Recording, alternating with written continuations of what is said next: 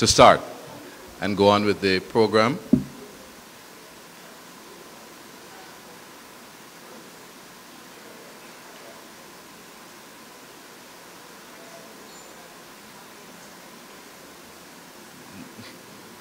So we should go ahead.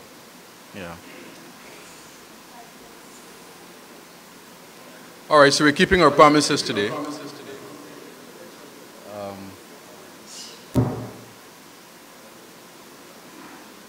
We want to welcome those who are joining online. I suspect that we have quite a substantial viewing audience online given the nature of the topic. We're very happy, of course, to have those of you who are joining in person here at the University of Guyana's uh, Education Lecture Theatre. We're going to start the program now, and I want to invite you to stand, please, and say the national pledge with me.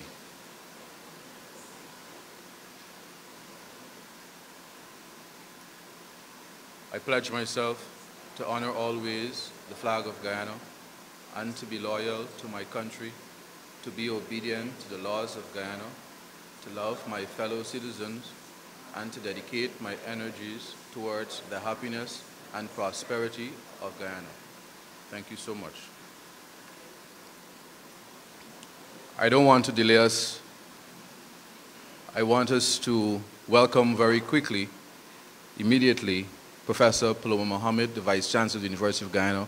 I usually have a bio that I want to say, and I, I work in the Vice Chancellor's office, and I don't want to threaten my job. All I'm going to say is our visionary and fantastic Vice Chancellor will welcome you to the University of Guyana. Thank you, good afternoon. I didn't pay him to say that. I usually don't like a long, you know, introduction because it takes away from the time and then anybody who wants to know anything about anybody nowadays, they can read. So, ladies and gentlemen, uh, this has been a really wonderful day. Um, you know this morning that we received the prestigious Perry uh, Center Award for Excellence. Yes. And um, I understand we have over 10,000 hits on the president's page already, etc. So um, you're famous, Dr. D'Angelo. Uh, luckily, you're such a smart dresser. So. Uh, and so we're really delighted to host this afternoon, um, along with our partners in the Guyana Defense Force and the National Intelligence Agency. Um, I see uh, Colonel Howell here, thank you, as well as members of the force. Um, I know Brigadier Khan is doing something else. And of course, to acknowledge the presence of Adrienne Galanek, a friend, uh, Deputy Chief of Mission in the U.S. Embassy, Michelle Smith, who works on security uh, and governance from the United Kingdom. I'd like to recognize, of course, uh, Debbie Hopkinson, who's the director of the Institute for Resiliency, uh, Strategic Security and the Future, or ISHER, as we call the institute, as well as um, Dr. Jackie Murray, who I'd like to ask to stand because Dr. Murray and uh, Brigadier retired Bruce Lovell, please stand, Bruce, were among the six, uh, six-man panel that put this, uh, the master's program together. So thank you very much. Uh, and the others are Dr. Troy Thomas, uh, Dr. Malcolm Williams, Ms., uh, Dr. McDavid, uh, one of them here on the panel, uh, Dr. Lee, um, and Natalia Bob Semple, who is somewhere around, uh, who convened. I'd like to also um, welcome all the members of the Perry Center who have come. Uh, they traveled just 36 hours. Really, that's a really horrendous trip, and they're looking incredibly fresh for it. Um, uh, so this afternoon we have um, on our panel Dr. Mark Hamilton and Dr. Bitencourt, who is an old friend of the university, um, from the Inter-American, Develop, Inter-American Defense University as well as the Perry Center, which is inside there. I'd like to also acknowledge the head, the director of their alumni. Um, I'm not sure if it's the Department of Alumni and International Relations, but you'll forgive me for getting that wrong, as well as the director of their um, communications, Darla. So, ladies and gentlemen, uh, welcome to you. I'm not going to take up much more time. I'd like to acknowledge also the other members of the panel, um, a panel that was very carefully put together.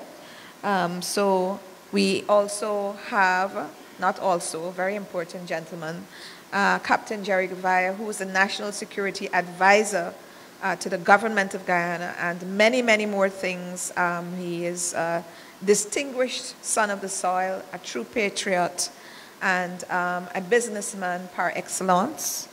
So thank you, uh, Captain Gouveia, for being here this morning, as well as being here this afternoon, and for accepting our invitation. Uh, Dr. Lee, who, as I said, is a member of the faculty of HISHER, but also part of the team that developed the master's program. So he's teaching in it now. So we're really delighted that you're here. And Miss Ove Thomas, who is one, the best graduating student for cohort two uh, from the, uh, the master's. And I'm really delighted that we have a, a girl, a woman. Uh, the other, the other person was a male, but um, an, an equally excellent, but Ove. Um, and I have to say that the Perry Center distinctly required and requested that we have a woman on the panel. And we thought we'd put a young woman on the panel. And of course, um, or for today, um, Dr. Norwell Hines, who is the director of our Institute for Energy Diplomacy, um, has his own interests in diplomacy, etc. Um, so we have an interesting panel. We have an audience online, and I think we have quite a number of people online. It's difficult to get up to the university at this hour of the day because of the traffic, it's just killing. So I'm very certain that a lot of people are joining us online.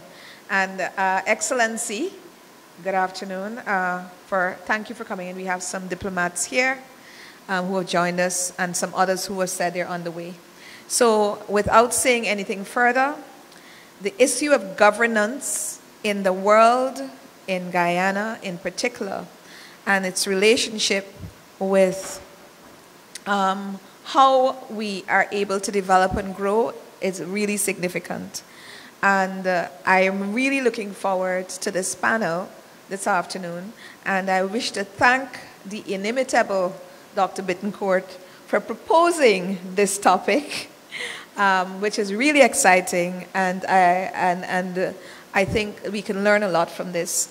As we said, this kicks off our uh, two week, uh, we're going to have a bi month, a bi weekly uh, series where we're asking all of the embassies to do a forum like this, but it won't be streamed. It's going to be closed for students of this the center as well as international relations students of the university as well as our partners, and that starts. Uh, that's in alphabetical order. So USA, America, number one as first. so um, in a couple of weeks' time, and then we have everybody going, uh, all the other embassies, if they wish to participate, doing so.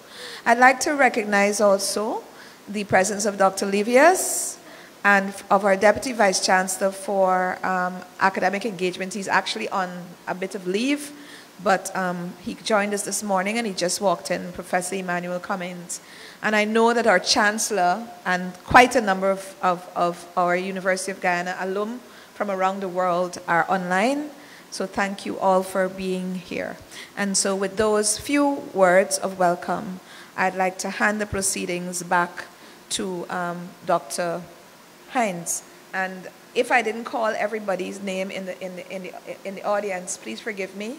Uh, we really are trying to keep on time because our guests are actually leaving um, tonight, early in the morning, and they have another engagement at 8 p.m. tonight. So we're trying to stay on time. So thank you very much and welcome. God bless you.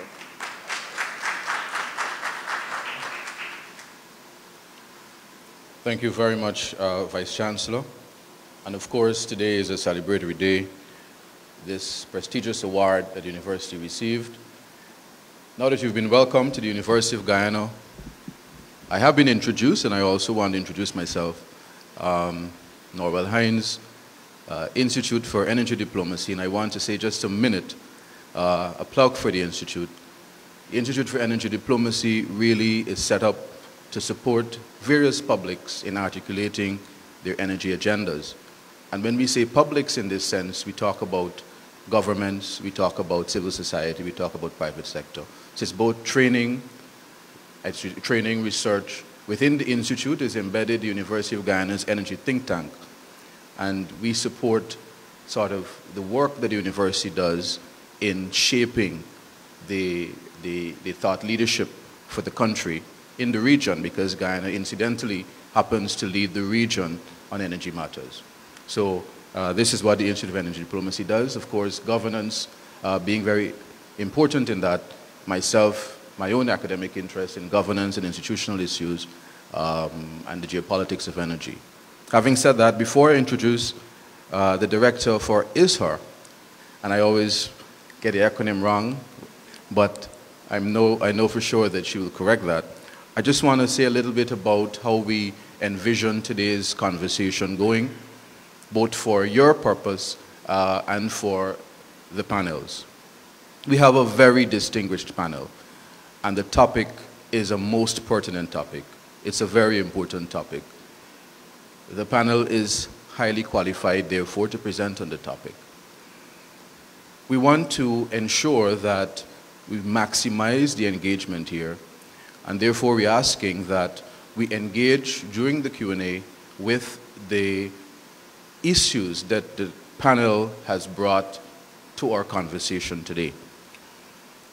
You did hear that the panel has an engagement at 8 p.m., which means you have roughly 30 minutes post-event, in the post-event mingle, to directly engage any panelists that you would like to on matters that you think were not covered in their presentation and that you would like to engage them on briefly. The panel will each present their opening remarks in about two minutes. It may be a Guyanese two minutes, um, but we will give them the latitude and the opportunity to therefore elaborate uh, their ideas uh, in two minutes or so. That will be followed by sort of a round of conversation where the panelists sort of feed off of each other's uh, presentation. So they'll sort of respond to each other's issues or issues presented by another panelist. And following that, we will have an engagement that includes the audience so that this is truly participatory and conversational. So, I hope that that helps um, in terms of framing how we see this uh, unfolding. And I would like to now introduce Mrs. Debbie Hopkinson, the current director for the Institute for Human Resiliency, Strategic Security, and the Future and the former Master of Social Work Coordinator within the Department of Sociology here at the University of Guyana. She's also the current campus advisor to the Student Social Work Association and president of the Guyana Association of Professional Social Workers.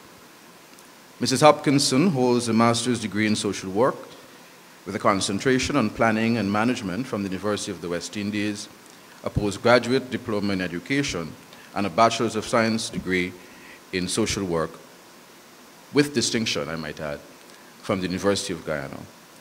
Mrs. Hopkinson is a strong believer in her faith. Uh, she celebrates her relationship with Jehovah, and she's happy to uh, share that faith with others. I also want to invite her, of course, to introduce our panelists this evening.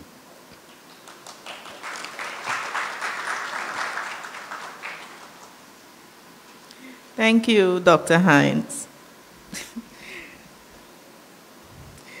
and of course, it's always good to come after the first or the second speaker because then you get the opportunity to say, all protocols have been established. With that said, I'll get right to what I'm here to do, and that is to introduce this most distinguished and expert panel. So, to your extreme right is Dr. Louis Bitencourt, who is an expert in business strategy, innovation, and leadership. He's also a professor of international security and governance at the William J. Perry Center for Hemispheric Defense Studies. He was also the director of the Brazil Institute at the Woodrow Wilson International Center for Scholars and a senior fellow at the Atlantic Council in the Brazilian Federal Administration. He performed several functions related to research and training in strategic planning, total quality in the public administration and international security at the Catholic University of Brasilia. Dr. Bitencourt was a professor and dean of the Faculty of Social Sciences. Louis also worked for the United Nations as a regional coordinator in East Timor as a member of the team of electoral experts in Tajiks, Tajiks, this is a nice word. Give me a minute. Yes, thank you very much. And as a rapporteur for the UN Commission on Intervention and Sovereignty. Please welcome Dr. Bitencourt. And just so you know, the reason why we read these biographies is to enable you to understand that the panel before you, they're qualified to, have the, to be on the panel. Next, sitting next to Dr. Bitencourt is Dr. Mark Hamilton. And he is originally of Rochester, New York and Concord, Michigan. He received his BA in Spanish from Taylor University, where he graduated summa cum laude. He later earned his MA in International Development and PhD in International Relations at American University.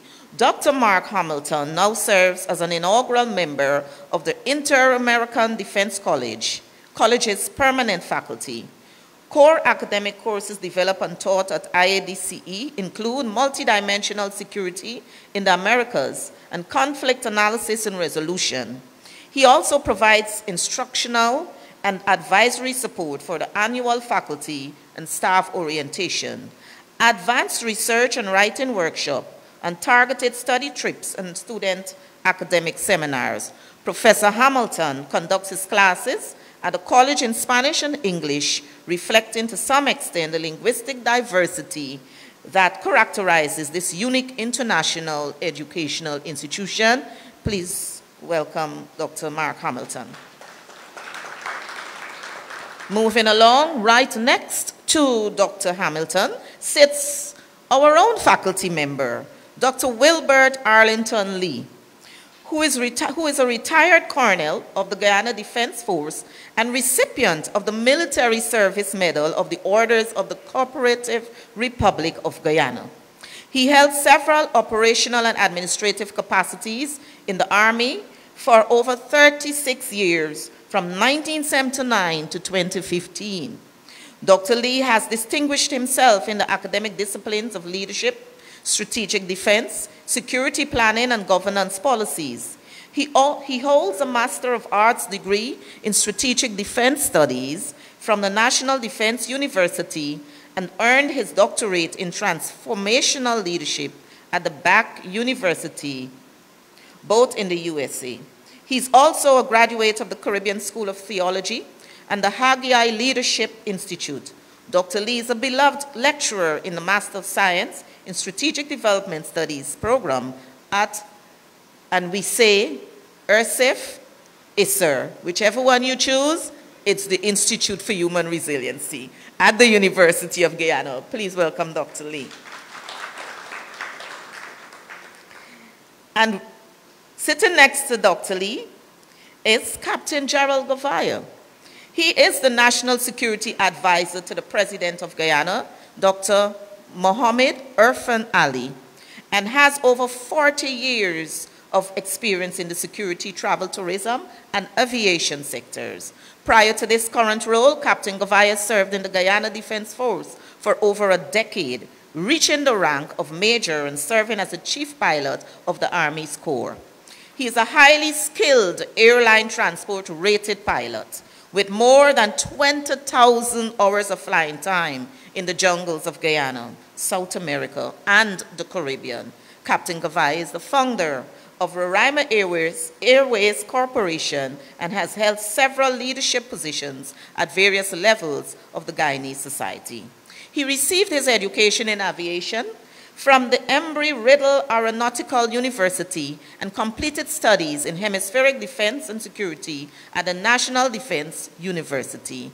He holds certifications in aviation safety and security studies and aircraft accident investigation. He has been honored with the prestigious Golden Arrow of Achievement Award and various private sector awards for his contributions to Guyana. Ladies and gentlemen, please welcome Captain Now for our final panelist. And I'm very, and I'm extremely pleased to introduce this particular panelist. And certainly not because she's a woman, but of course because she's a scholar and a graduate of the Master in Strategic Development Studies. Mrs. Ove Adams was raised on the east coast of Demerara in a rural community within an extended family.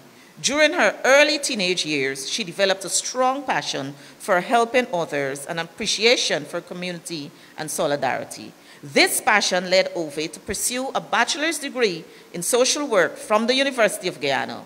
Following her bachelor's degree, Ove embarked on a journey at, at the Ministry of Human Services and Social Security, honing expertise in domestic violence case management. Extending these experiences, she is a graduate of the Master of Science degree in Strategic Development Studies from the University of Guyana. Ove brings to the panel expert in gender issues, women empowerment, trafficking in persons, migration, and strategic development. Distinguished invitees, I give you your panel this afternoon. Thank you.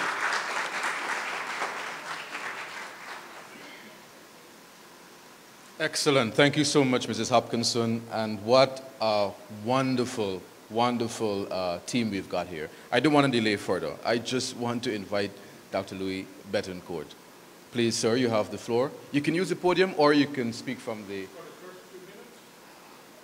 Two, please feel free to have your elaborate... Uh, yes.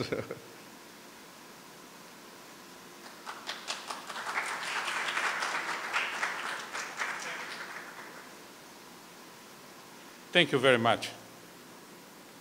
Thank you, Norwell. Good to be here. Actually, very good to be here.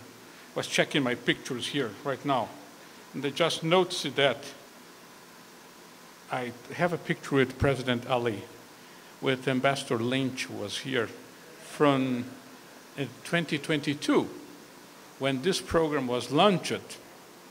And I'm, I'm so proud for what you have done, done frankly, yeah, this is a fantastic thing.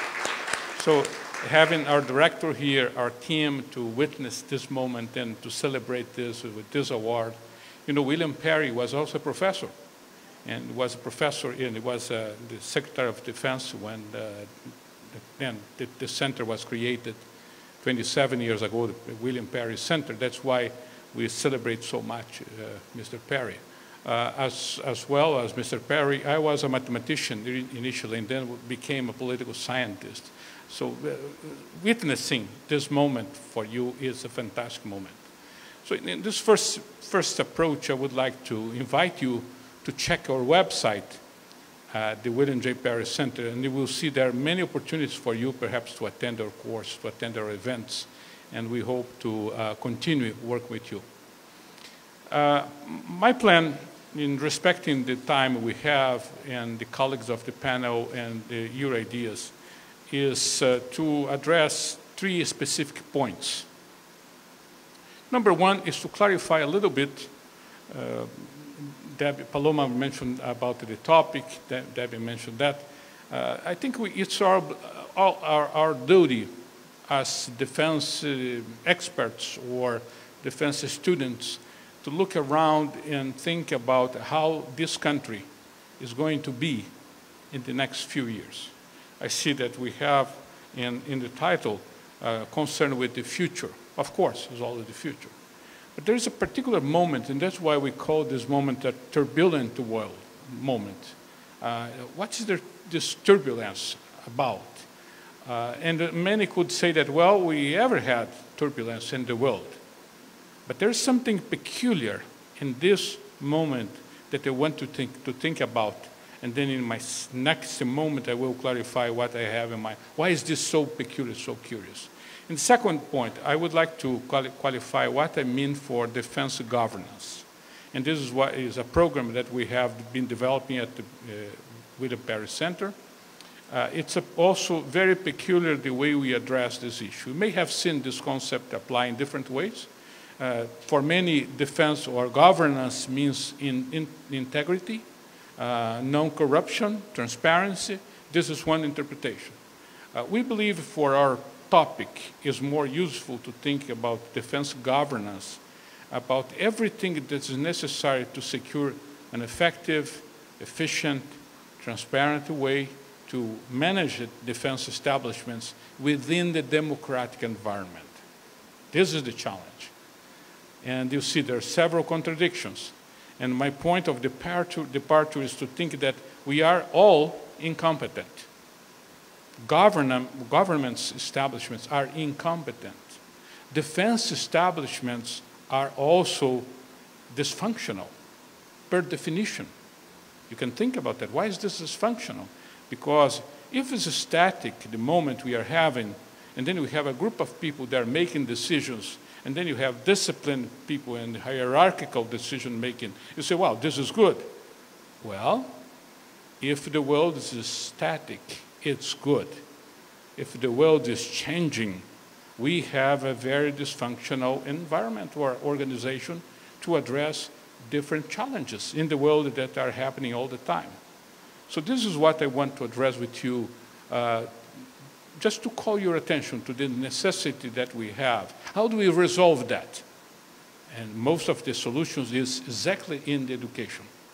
If we don't create the critical mass that in the future will make those decisions much more current with the technologies that we have. My kids are much more educated in technology, and probably your kids too, than I can be. But this is going to be their world. The artificial intelligence is producing a revolution in the world that we think, well, maybe this is not for me. Well, it will be for you. And we will have a responsibility understanding better that, what kind of implication we have that, especially if we have responsibilities with the future of the country. And then my, my second topic I will address more, and of course I will align this with the questions of our moderator. And the third point, I will bring it to your attention uh, things that are happening in Guyana with, with a grain of salt. I have a profound respect for the, the culture of the country, realities of the country. No one can know better than you what you're facing. But sometimes a foreign eye can see your country in a different way. And I've heard once in my life that the best thing that happens to you when you have a responsibility in the government is when you can see your country with a foreign eye. Because we notice things that normally we don't. So those are my three topics that I want to address with you later.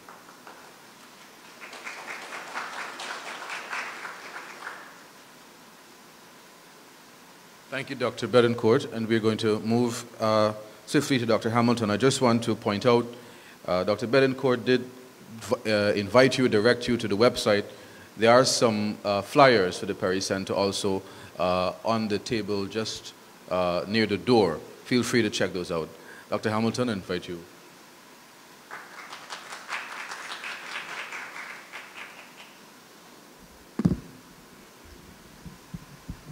All right. Well, first of all, all of the pleasantries that we've heard so far. Um, I'll try to get right to a little bit of discussion, but it is such, it, it is wonderful to be here. Um, and we're humbled um, to be with such an esteemed panel and, and to learn from all of you uh, in this process as well. Um, I've had the privilege, I, I teach at the Inter-American Defense College, and, and we've had the privilege of having several students over the years that have taught me about your beautiful country. Um, and some of those students are now in leadership roles, and, and so as we engage back and forth with them, we, we continue to learn more. So I'm going to kind of pull the scope out a little bit and, and talk at a hemispheric level. Um, we were in a talk earlier today that the president was speaking about kind of thinking from a global and a hemispheric frame. Um, so I'm going to do that briefly, and then I'm really looking forward to hearing the national context on this uh, from our next speakers. Um, but I'm going to talk about multidimensional crises that we have going on, and then maybe a few multidimensional responses.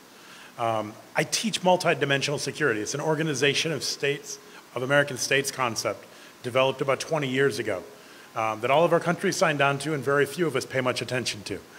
Um, but I think what it can offer us um, is it's a list of all of the different threats and challenges that are faced in the hemisphere that everyone signed on to. What it doesn't have is a lot of structure of how to prioritize or how to engage.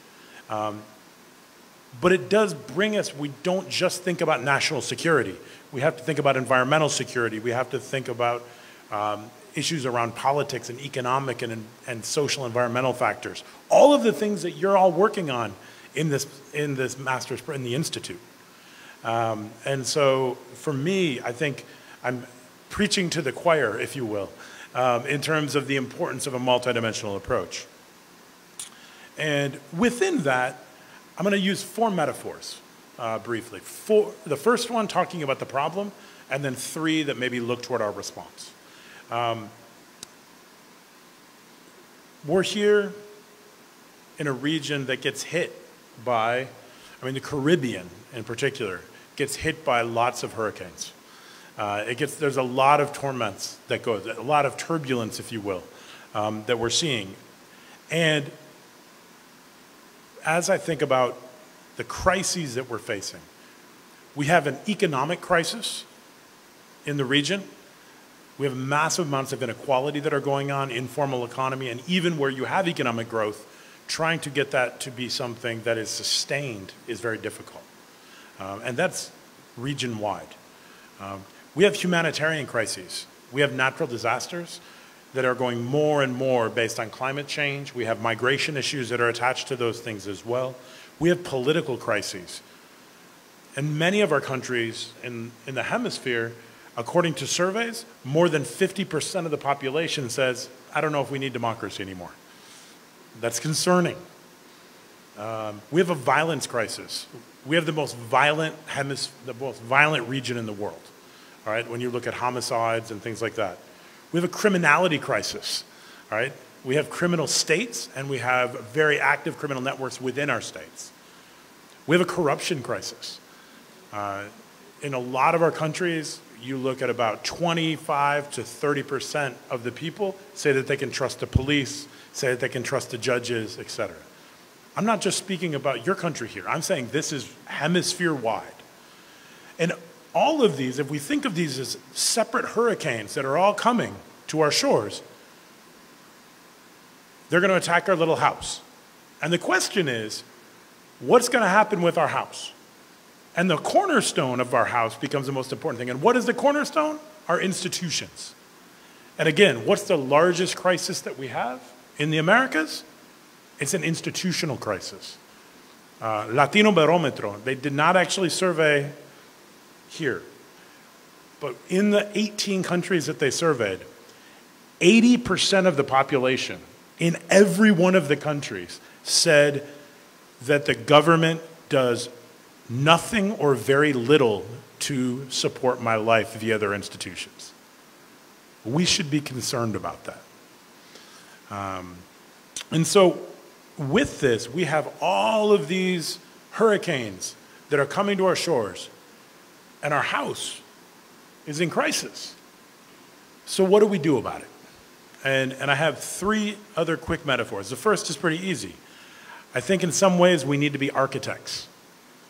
We need to work on becoming architects. We need to rebuild our foundations stronger. We need to build institutions, not just to build them, but to build them to be more inclusive to get more people involved, and to have something as you're looking for resiliency. All right, so I think that you're on the right track with this. The second metaphor is uh, that I'd like us to think about is um, comes from an ancient Asian fable. Um, there was a wise man, and he told several blind men, "Tell me what's in front of you."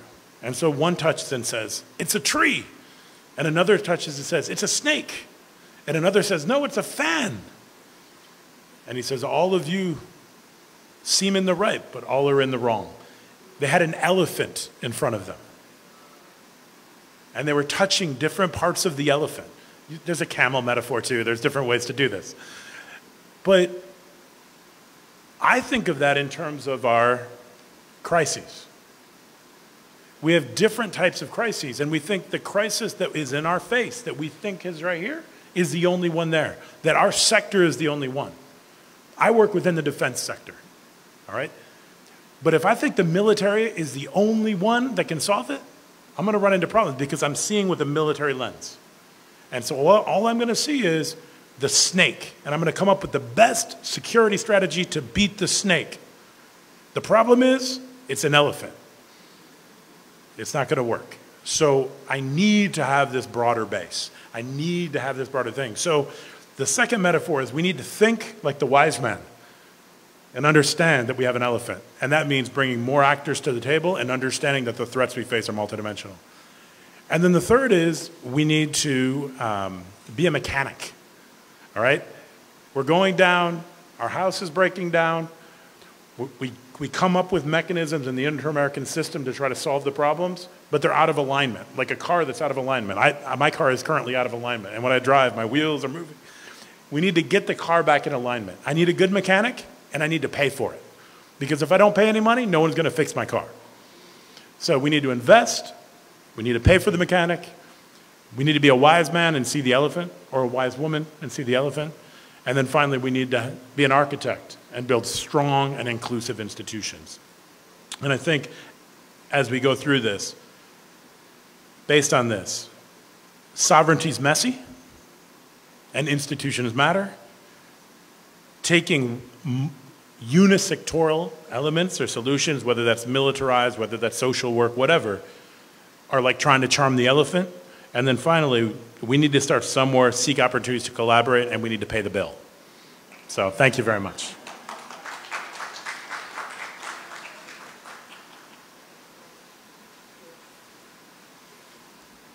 I think I'll leave it at this height and I'll tiptoe for uh, these speakers. I think we coordinated that well. Uh, Dr. Lee, I invite you.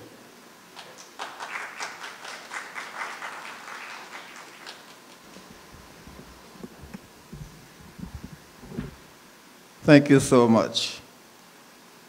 Turbulence, governance, defense. When I first saw the topic, um, I reflected on two, um, two books I read. One by Francis Fukuyama that spoke about um, end of time and the fact that with the fall of the Soviet Union and the fact that capitalism was on the rise and liberal democracy was also on the rise, the prospect of the world looked real fascinating. And it seems as though war was being a thing of the past. It also reminded me of the Soviet um, sculptor that presented um, I think it might have been in 1959, that piece of artwork to the United Nations that spoke to beating our swords into plowshares.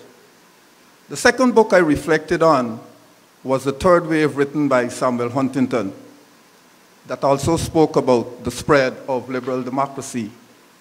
Now, placing those two um, concepts, those two prognoses together, um, the world seemed to be heading in the right direction.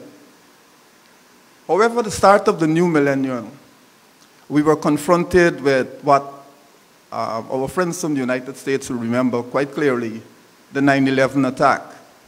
And it ushered in what is now known as asymmetric warfare. I'm referring here to the 9-11 um, attack on the United States. So turbulence um, seem to have taken a new dimension, a new perspective, where we had previously been accustomed to conventional warfare. We are now confronted by asymmetric warfare that makes prediction of what will happen next seemingly or almost impossible. Now, how do we put that together um, in the defense scenario or the defense structure? The defense structure or the defense system, it's known for um, its strength, its diversity, and also its ability to be very destructive. Added to that also is the fact that national security seemed to be hidden at times um, within the confines of being not accountable. And so, if we are going to develop strong, a strong governance system within the defense sector, we need to apply some of the principles that are quite obvious in other public sector organizations. And so I refer to the fact that the nature of defense, the size, its privileged access to classified information, its ability to garner sophisticated weapons, and the ingrained culture of secrecy makes it susceptible to administrative and perhaps um, political malpractices such as corruption, abuse of power, and even its cooptation by criminal elements. So how do we fashion governance given the unpredictable nature of turbulences and also the fact like what I think, um, can't remember the name of the British general that spoke about the utility of force. How do we bring it together um, to make democracy work or to strengthen democracy? Again, I refer to Huntington when he wrote in a seminal work, The Soldier and the State, where he spoke about professionalism, where he spoke about accountability, and the fact that we need to find the way to strengthen civil military cooperation. In fact, this institution that I am proudly a part of offers such important training that we can bring together both military and civilian enterprises to really strengthen institutions so that the liberal democracy that we all talk about and we'd like to see faster can be a reality. Thank you.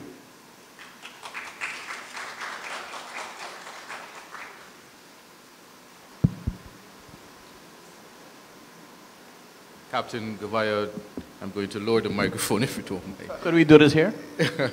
you could do that too. Um, thank you, uh, Dr. Lee. Um, very useful. That was a very good two minute use of two minutes, I would say. We went right back. We covered the entire world uh, and post-World War II development right up to the current time. Uh, Captain Gouveia, the extraordinary um, Guyanese son, I invite you. So that I don't give you the satisfaction of blowing the microphone. I want to say thank you very much. I wanted to position my comments in the objective reality of Guyana. Um, and first of all, to also premise it on the on the statement made by Dr. Bitencourt that what we are discussing is within the framework of democracy. That when you think about governance, defense, defense governance, um, it happens in countries all over the world, and not all of them embrace the concept of democracy. But we are talking about this in the, in the, in the, in the context of democracy and good governance. Um, in terms of Guyana and our architecture, when it comes to our defense governance, um, the commander in chief, the president himself, heads the defense board. So we have a defense board that basically manages the defense sector. Um, and we, there's a lot of overlap in defense and security. And so there's a national, um, there's a national security council um, that is also chaired by the president. And of course, the, the Defense Board deals with the, with the wider picture of border security, the, the Guyana Defense Force and their role, and then of course the, the National Security Council deal with all the issues of domestic security and the things that go along with that. I want to say that as well, and to put this in context, that our defense and security systems, a lot of it was developed back in the 1960s. And so this was recognized by policymakers. And so in 1999, around there, the Defense University actually came to Guyana and, and proposed to work with the government in Guyana in, in developing a defense and security a defense and security sector reform strategy. That is, this is for the, the Guyana Defense Force and the police force and the prisons and the fire service, which forms our joint services. A lot of work was done on that, and then unfortunately it came to a screeching halt. Um, there were some minor changes and reform going on in our, in our sector until the British came along and decided they would propose to us a, a national security strategy reform which was being done by the British government. It was being funded by the British government. And again, tremendous consultation was done and a lot of work was done.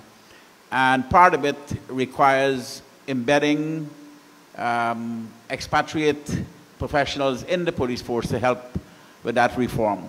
Unfortunately, that also came to a screeching halt. And so what we do have, unfortunately, is still a police force and a GDF, a Guyana Defense Force, that was developed long time ago.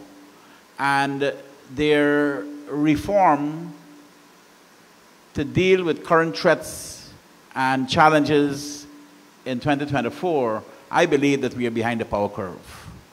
Um, even our defense spending over many, many years we're behind the power curve. I think in the last budget we've just seen the defense spending went up by 100%.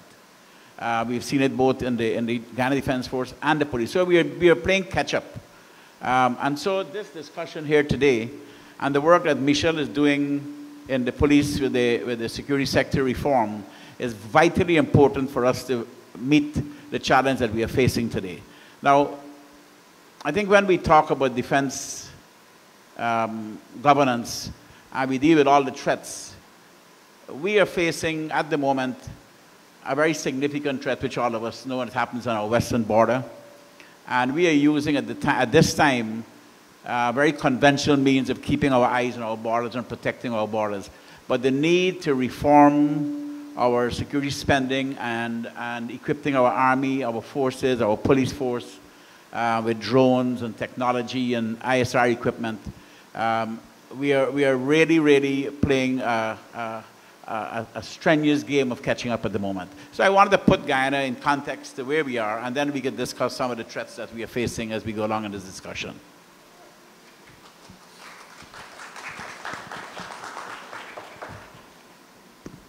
Thank you, Captain Gouveia. Actually, Major, if you were to use your, your uh, retired um, Army uh, designation. And I must say that I always like when, when people break the rules for me, uh, part of my interest is innovation. And uh, you can't innovate if you don't break some rules. So thank you very much for breaking the rules. I, because no rules were set. and that's exactly the point, thinking out of the box. So our lone female panelist, now we have two pathways. Now there's a, uh, what we call a bifurcation. so you can choose to come to the podium and deliver your introductory remarks. Thank you. Okay.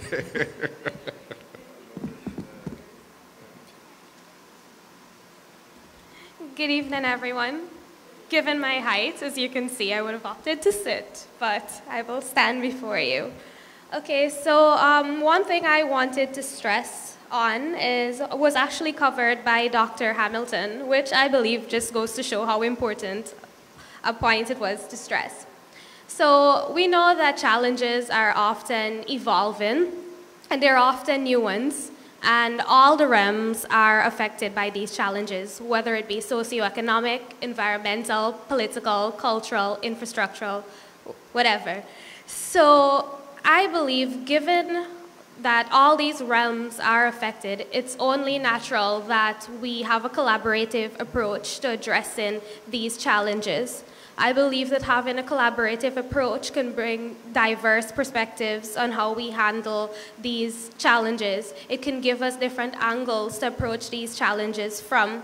For example, you may be working in one sector and you may not be aware that changing something in that sector can have implications for another sector. So that's why I believe when making these decisions, we should all come together, look at it from different perspectives, and go forward. And while going forward, we're weighing the pros and cons of the different approaches that we want to take. So apart from this, I believe that we must always be adaptable, we must always be resilient, and we must also have great foresight and anticipate certain emerging trends.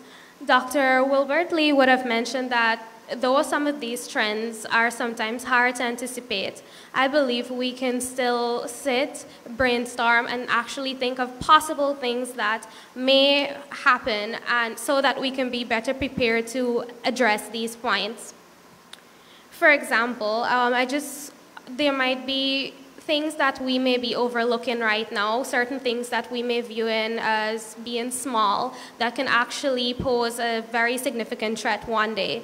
So it's our duty to look at these trends, look at what's going on in society, and anticipate what could happen as a result of this. For example, um, Guyana is developing at a very significant rate. We have influx of various nationals coming in. So from a social work, sociological perspective, um, their research shows what this mix, what can happen as a result of this mix. We're having persons from different cultures, different backgrounds, they're all bringing different beliefs. Sometimes there might be tensions among the locals and these persons. This can um, make new subcultures emerge. This can actually make new crimes emerge. So we must look at how our military, our police, are we adapt, um, are we equipped to tackle these emerging um, trends or the new crimes from different cultures. So that is just something I wanted to stress on. Um, yes. I'll be short like myself. Thank you.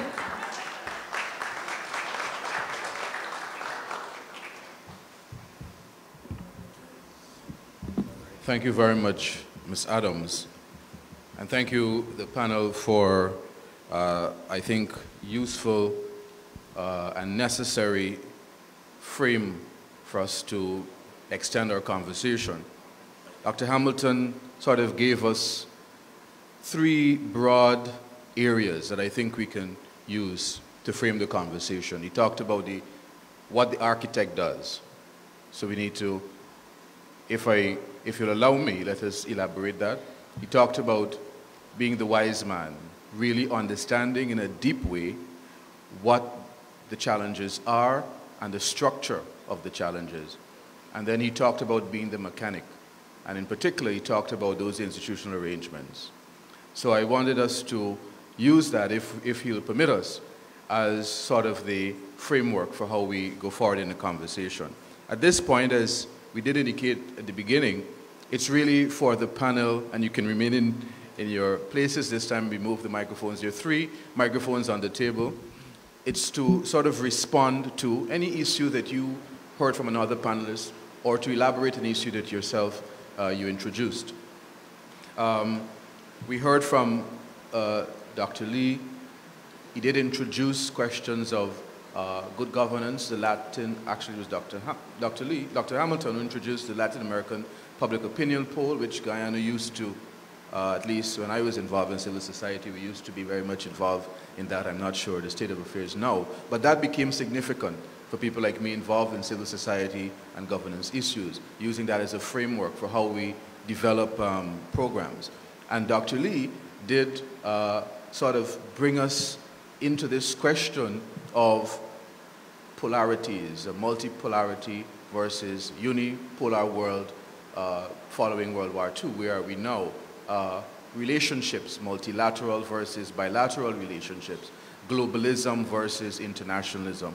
So those are some broad uh, context framing type of ideas that we can elaborate on. So first I'll open to, to, to you if anyone wants to extend a particular point or respond to a point.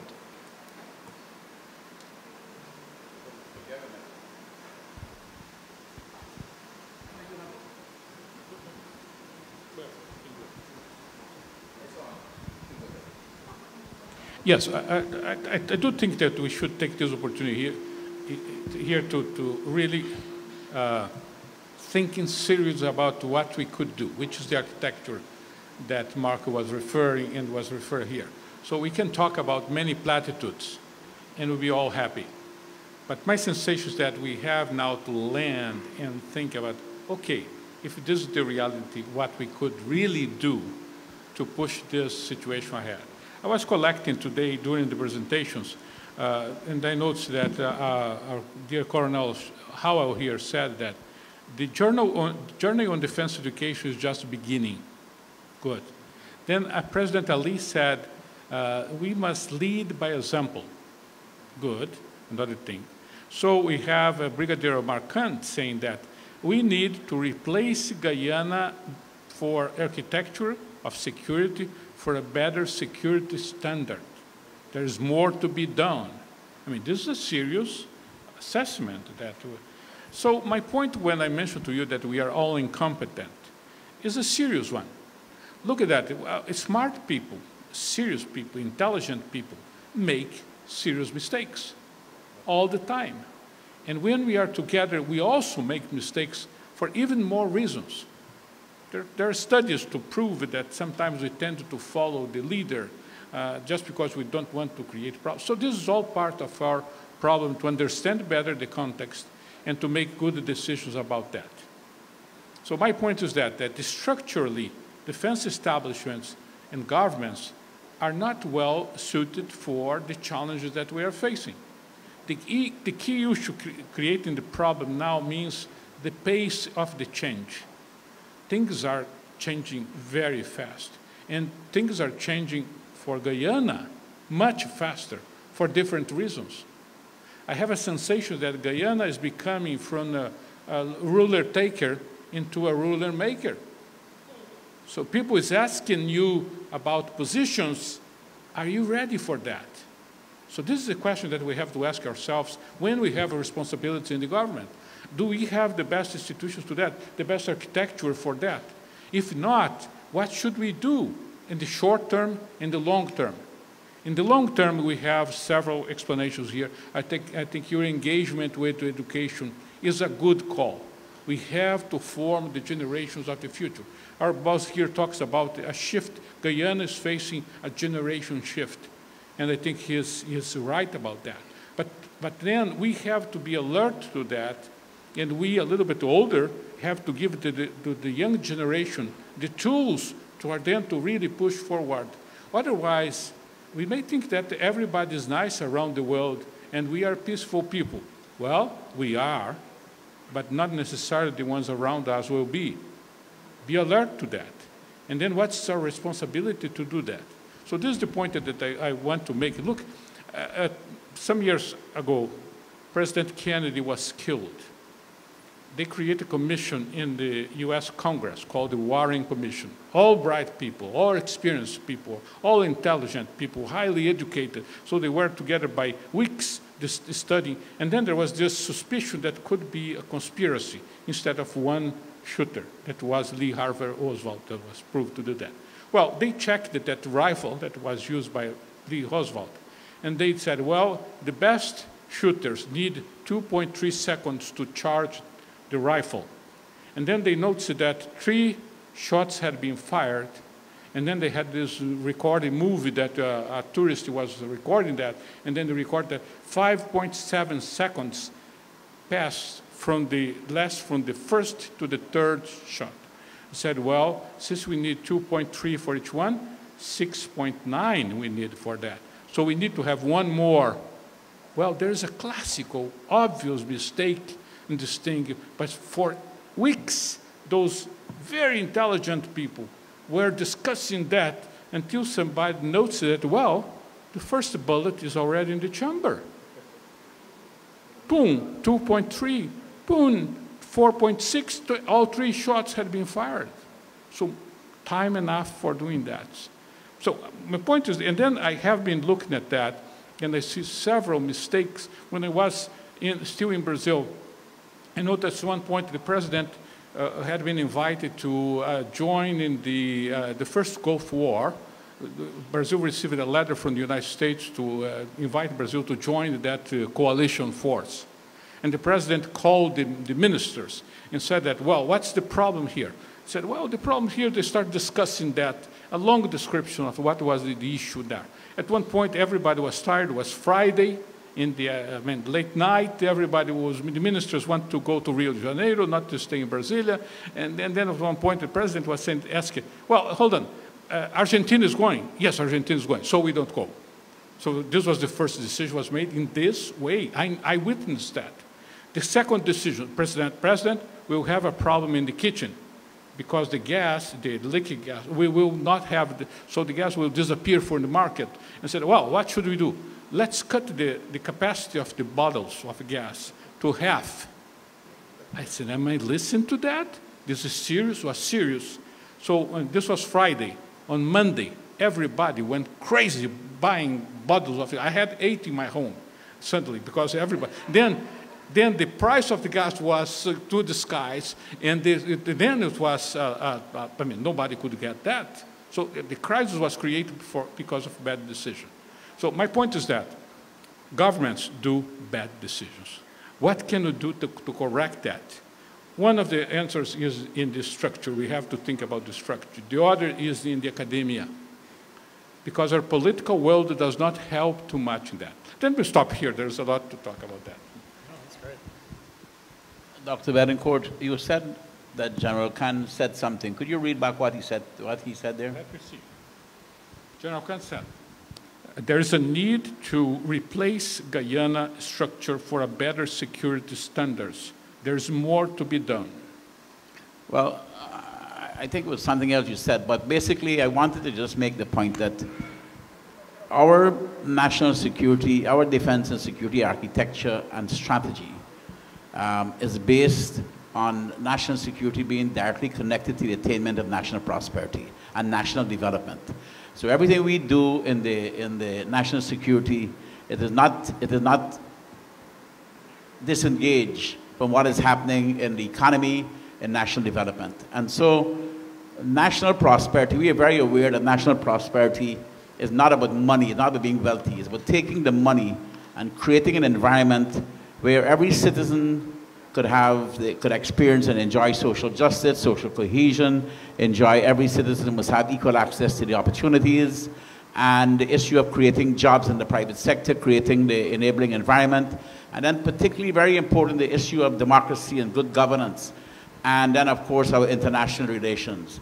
When we get those things right and national prosperity becomes a, a reality, then the hardcore issues of, of national security as we know it, the police and the army and the prisons, then those jobs become easy for us. So I just wanted to make a position what uh, General Khan was saying and to expand on that, to say that all of us, as we sit and talk, we understand the mistakes made by other countries that was once in our position, the way they spend the oil money and the way that they so the diversification of the economy, the way we are going to um, start doing increased defense spending, it is not going to be an arms race. It is going to be one that is done in a very strategic way um, and is going to be done in, a, in, a, in, an environment where democracy, and you did, you did put this, this whole discussion in, a, in the atmosphere of democracy, and I would say that everything we do will, be, will meet the, the litmus test of good governance, transparency, and accountability and anti-corruption. Uh, I, I just want to add a bit to what is said by my two colleagues. Um, I think the research um, or the polls that were referred to by Doc here um, was conducted by the Vanderbilt University. And it, our premier law enforcement agency was not rated highly. Um, there was considerable um, concern about its integrity um, its ability to uphold the rule of law, etc., etc. I, so I think um, quite a lot of focus needs to be given to whether we call it reform, whether we call it restructuring of our premier law enforcement agency. Perhaps also we need to develop the capacity where we can be a bit more predictive of some of the um, emerging threats that will face us. Let me state an example. Um, currently in the Middle East, um, the shipment or the movement of oil faces quite a lot of turbulence. Um, whether it's um, from the Houthis, whether it's from in the Gulf of Aden, wherever. Guyana has now been looked at one of the premier producers of oil. Our nearness to North America um, means that we might soon become the primary supplier of oil to North America. But we need to factor in also the fact that quite a lot of um, persons who fought with ISIS um, have been um, sent back to Trinidad. Trinidad is our neighbors. So perhaps while we focus on the fact that there's terrorist threat in the Middle East, um, Gulf of Aden and all of that, perhaps we need to consider that some of those persons who have already been radicalized may pose a threat to us. So the point I'm making here is that our, in our security sector or defense sector, we perhaps need to be a bit more predictive of what are some of the likely threats that will confront us sooner or later.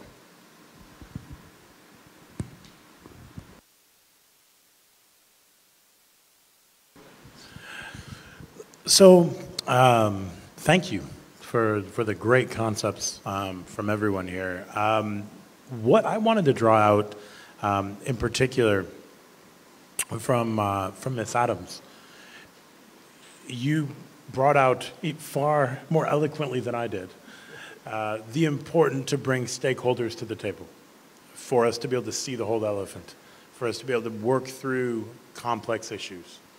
Um, and then I really appreciated, you know, the National Security Advisor, Captain Gerry, telling us about the attempts that have been made in the past to get to a solution set for, to be able to move forward in this defense turbulence and then not being able to get to a solution because it got blocked for different reasons.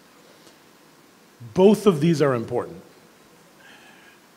Because things have been blocked in the past, there may be a tendency to leave it to one sector to make a quick decision because it needs to be done. All right? We see that happening with authoritarian regimes all over the world.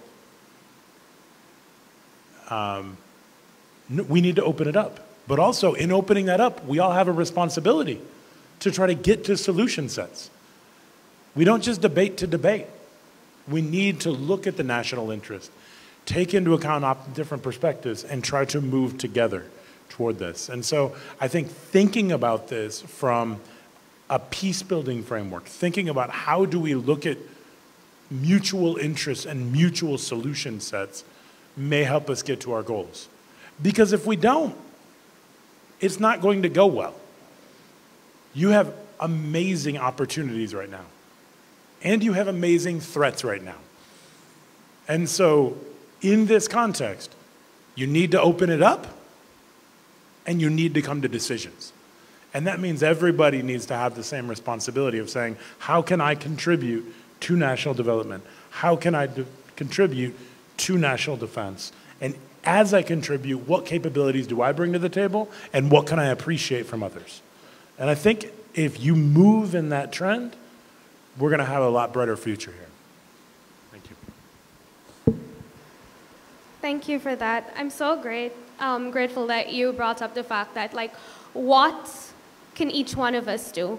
Because I feel many times um, the general public may feel that, okay, this is a decision for the higher ups or the big ones, but it is something, these challenges can affect everyone. It's everyone's business. So I, I believe that even down to the teachers or just the general um, citizen, we need to see or we need to um, yes, we need to see how we can play a part in this. For example, I was saying that it's everyone's business, all stakeholders must be involved. Earlier today, um, the Honorable President mentioned that we need to look at the root cause for certain problems. And sometimes these root causes might be in a whole different sector. Maybe we are focusing on the defense sector, but the root cause might be in the educational sector. For example, the President mentioned that in the curriculum, we need to introduce new subjects, we need to introduce new topics. So I believe looking at it from this angle is a great way because even the teachers can see, okay, I can play a part. In the classroom, I can start having discussions about defense, I can start having discussions about gangs, the guidance counselors can play a part in this. Um, looking at anger management, conflict resolution, these small, these things that we may believe are small can actually um, be very significant later on. So I just wanted to stress that point of how important it is that we look at this collectively and each play a part in combating various challenges. Um, I also wanted to expand a little bit on the fact that when we sat down together um, to discuss our national security priorities, one of the first things we did was to develop a national security strategy. Um, and this strategy was able to get us all on a common ground, identifying our common values, our common our national principles, and of course the threats that we face. Um, and so that national security strategy is, was done about a year and a half ago, but it's now, because of the, of, of, of the, the, the, changing dynamic, uh, it is now ready again to be reviewed. But where we are geographically and the threats we are facing, and I make the point that it, one of the biggest threats we are facing is not about a threat against Guyana alone, but the threat is where Guyana is being used as a proxy. Guyana is being used as a proxy to influence global interests in this region. I think if you look at what is happening in Venezuela, with Iran presence in Venezuela, with the Russians and the Chinese and the Venezuelans and what they're doing, I believe that what we are facing is something a lot bigger, that Guyana is just a staging ground for something a lot bigger. And this makes it important to understand that as we think about the governance and the defense challenges we face, that is why our international partners is so very important, our relationship with the United States, because this is not just about Guyana alone. This is about what happens in this entire region. And we all understand that any one country in this region that becomes a failed or weak state or a fragile state or a failed state like happened in Haiti, it affects regional stability and security. Venezuela, the challenges in Venezuela have been giving us a headache every day with the, with the non-state actors along our borders that are wreaking havoc on both sides of the borders. Um, and so because of the challenges they face as a country, um, it affects us. And so we are identifying these threats we are identifying them along with our strategic partners. And this is, and we understand very clearly that because of the size of our country and because of the region we're in, these are not things we could deal with alone. Whether we talk about cybersecurity, whether we talk about port security, um, this is, I just came back from Fort Lauderdale. We had a week-long uh, sem seminar discussing port security and how important it is for the future of Guyana. We, we have not even started to touch the tip of the iceberg economically yet on the, on the proceeds from oil. We are so far behind. People still think, people think that we, are, we, are, we, have a lot of money, but we don't, not yet. 2030, 2035, the young people of this country will live in such a rich country. You'll have, they, we'll have so much money, we don't know how to spend it. But we are getting there. And right now, this is the time for us to build, keep our partnership, and keep the region secure for our people to, in, to enjoy the, the, the benefits of the rewards from the oil and all the other things that will come from it in a peaceful environment. And that's what we need to work on in partnership. Yeah, let, let me add a comment and that following, uh, again, uh, what Gerry Gouveia is saying. There's always an option, Jerry, uh, doing nothing. You can just do nothing. And, and you think that, well, it's nice to have that. Let's uh, let the, the, the, the, thing go. Uh, the president also used another expression today he compared uh, the model that you are here developing in a democratic world, and then he used the expression, he compared with the, uh, with the reverse authoritarian leadership. He does not want to do this authoritarian leadership. But what you are, you're mentioned that, uh, so you, you chose to understand that your context always required and understand that development, economic development, is part of your sense of security. Of course, this is a good definition. What my impression uh, gives me from what I have been living with you guys here is that this needs to be more spread with, in the exchange with the population, with I mean, to go with uh, Paloma today, uh, Mark just mentioned this uh, elephant, the different divisions, and Paloma just mentioned the way to eat the elephant. Let's eat the elephant. There are different ways to eat the elephant. It's true. So there are different ways to address this issue. And, and uh, what I think we, we should understand here, if you think about your security, let's be clear here, because now you have the oil. This is a blast. This is a wonderful thing. But immediately, attention of the world comes to you and said, well, you know what?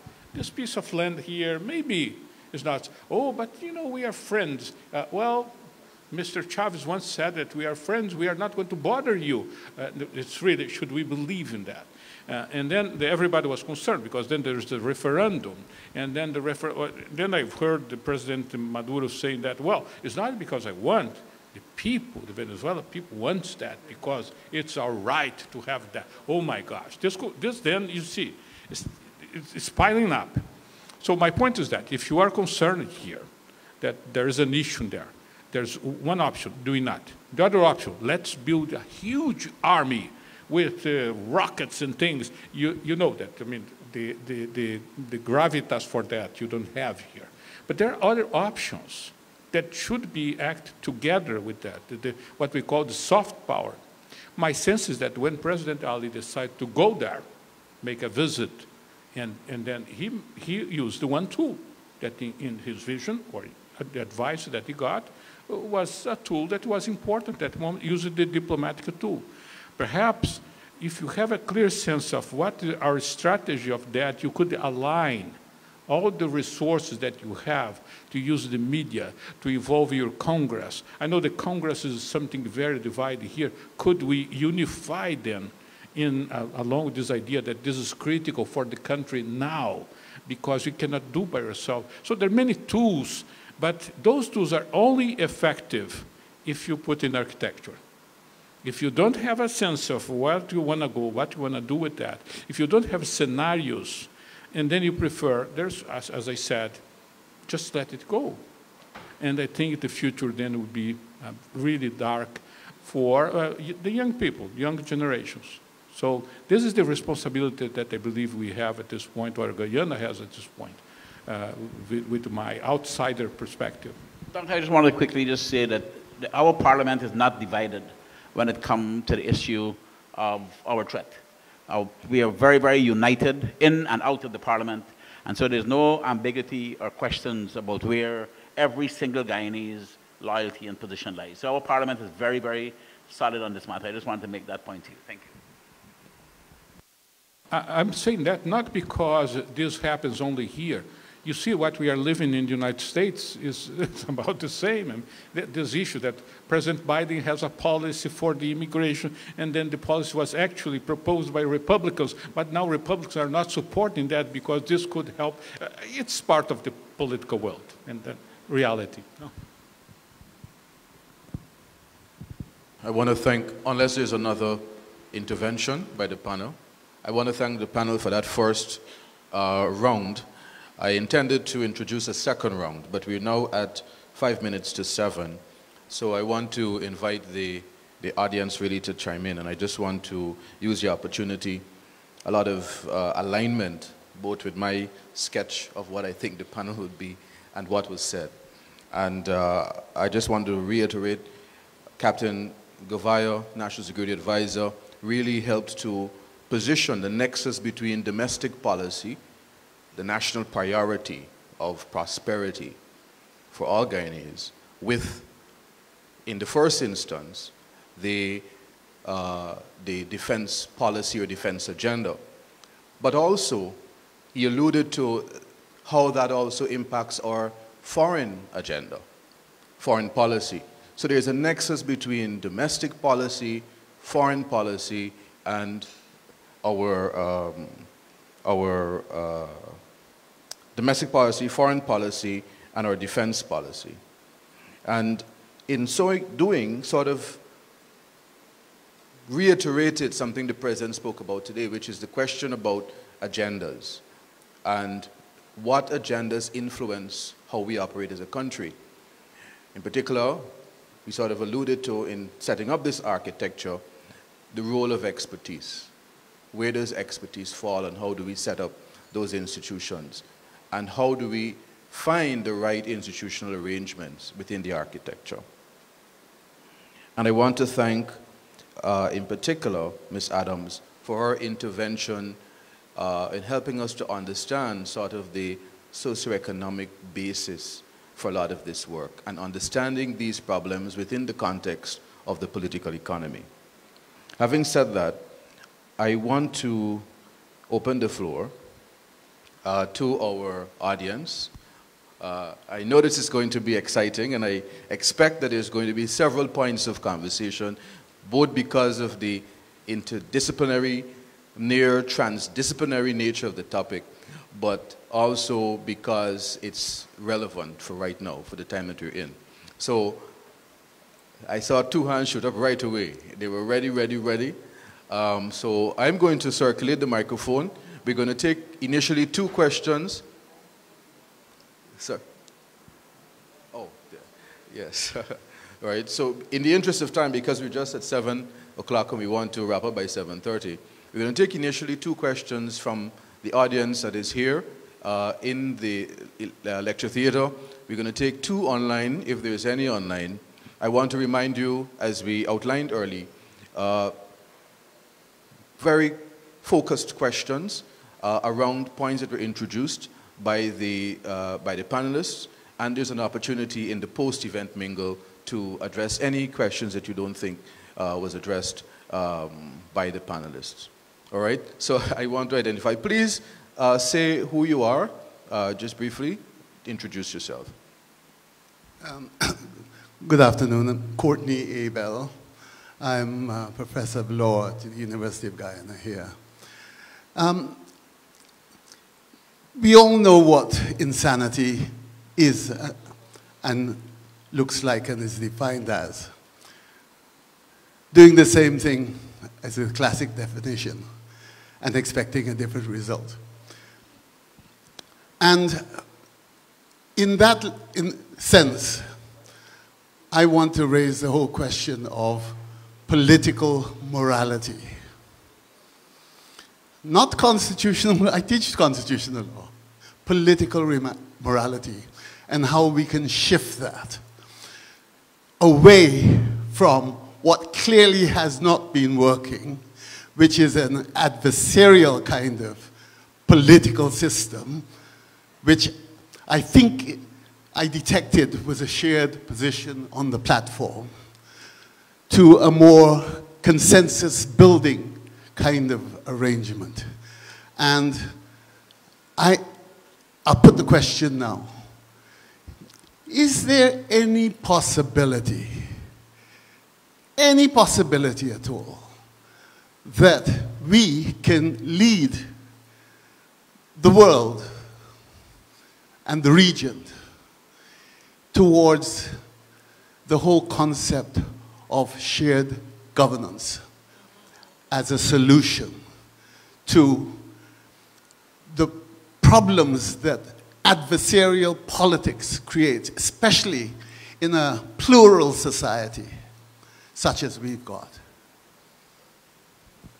Thank you, Professor Abel. I invite any member of the panel to uh, respond if they wish to. Sir, I joined this government from the private sector. So I am part of uh, an attempt by the government to be inclusive. There have been other people. And uh, I grew up in the Guyana Defense Force with many, many of my colleagues who serve at this time in the opposition of this country. But unfortunately, for me, as a private sector official, in 2020 standing in the building and watching politicians being dishonest, blatantly dishonest. They were blatantly dishonest and, and, and presenting fraudulent numbers to the population of this country. And even today, you still have these people who are in our opposition that calling the U.S. ambassador white devil, that is calling the government an installed government by the United States. And so until we have a, a discussion that is based on the truth, on integrity, and let us move forward. But every time, and I agree with you, I believe and I work every day uh, for us to be inclusive, and I want us to be inclusive. But if I have to sit around a table and a person look at me in my face and tell me what I saw in 2020, I was a crazy person, I cannot work with you. I have a problem with you. I have a problem with integrity. When we start talking about shared governance, it's got to be start from a position where all of us around this table have the best interest for Guyana at heart, and we're dealing on a position of integrity and trust and goodwill. Thank you.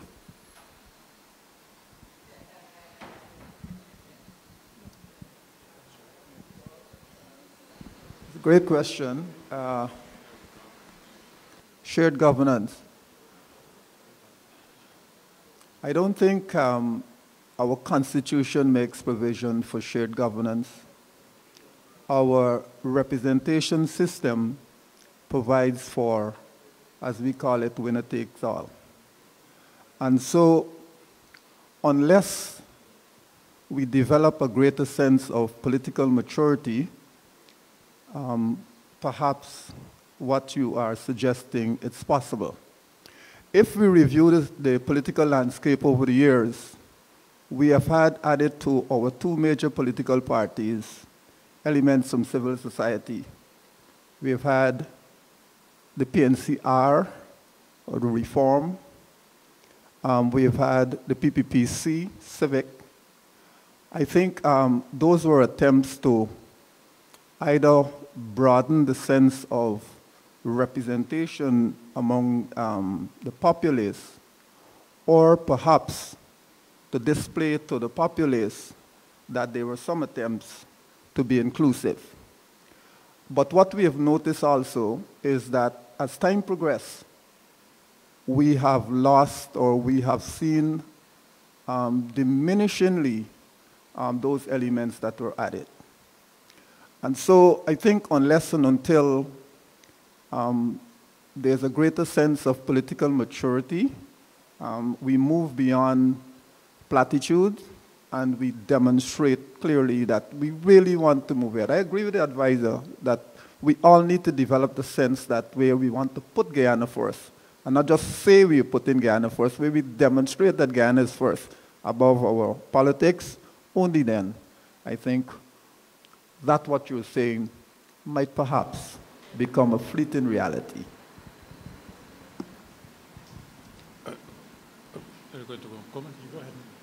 Professor, uh, this question is a question for an entire course of political science, and it's quite an interesting question, absolutely.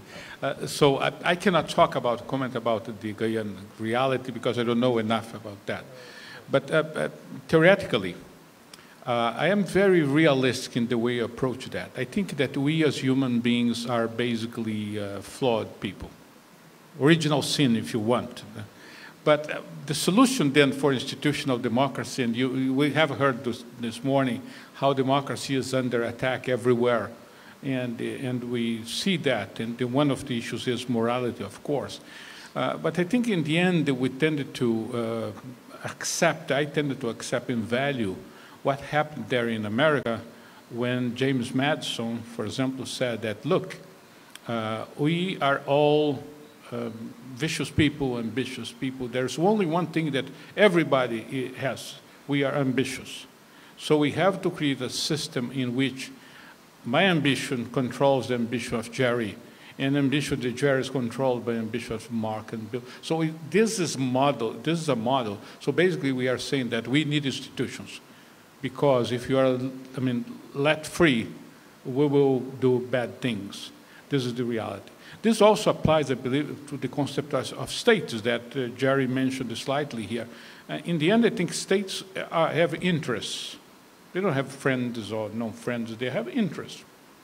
When interests converge, and sometimes interests are in the same principles. So when principles converge, we can have cooperation, friendship. Uh, we are seeing now this issue in, in Ukraine and, and, and Russia. Uh, and then we see that uh, the, my money as a U.S. taxpayer is now moving to Ukraine to help them defend. And uh, frankly, I'm happy with that because those, those uh, um, principles, they are conformity with my principles. Then my sense is that uh, we need those institutions. And for as much as this can be a complicated issue, we may be frustrated sometimes. I see some people getting out of jail because of proved corruption scandals and then becoming president with the judicial system saying that, wow, these guys are right. Uh, and then I get disappointed with that, as probably you are. But I mean, in the end, this is the system, so we have to believe that the principles will, will preserve. And as Madison said, what we need is a system in which, because we're not we are not angels, so we need ambition, one ambition controls the other, checks and balances. I keep believing in that.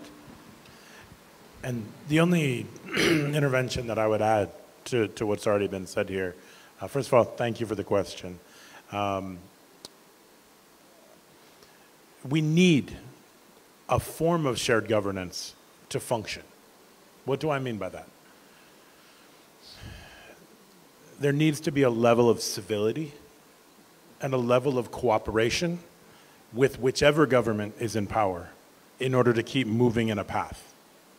And if we don't do that, then what we see is the next government comes in, and then their, their stuff is sabotaged by the opposition.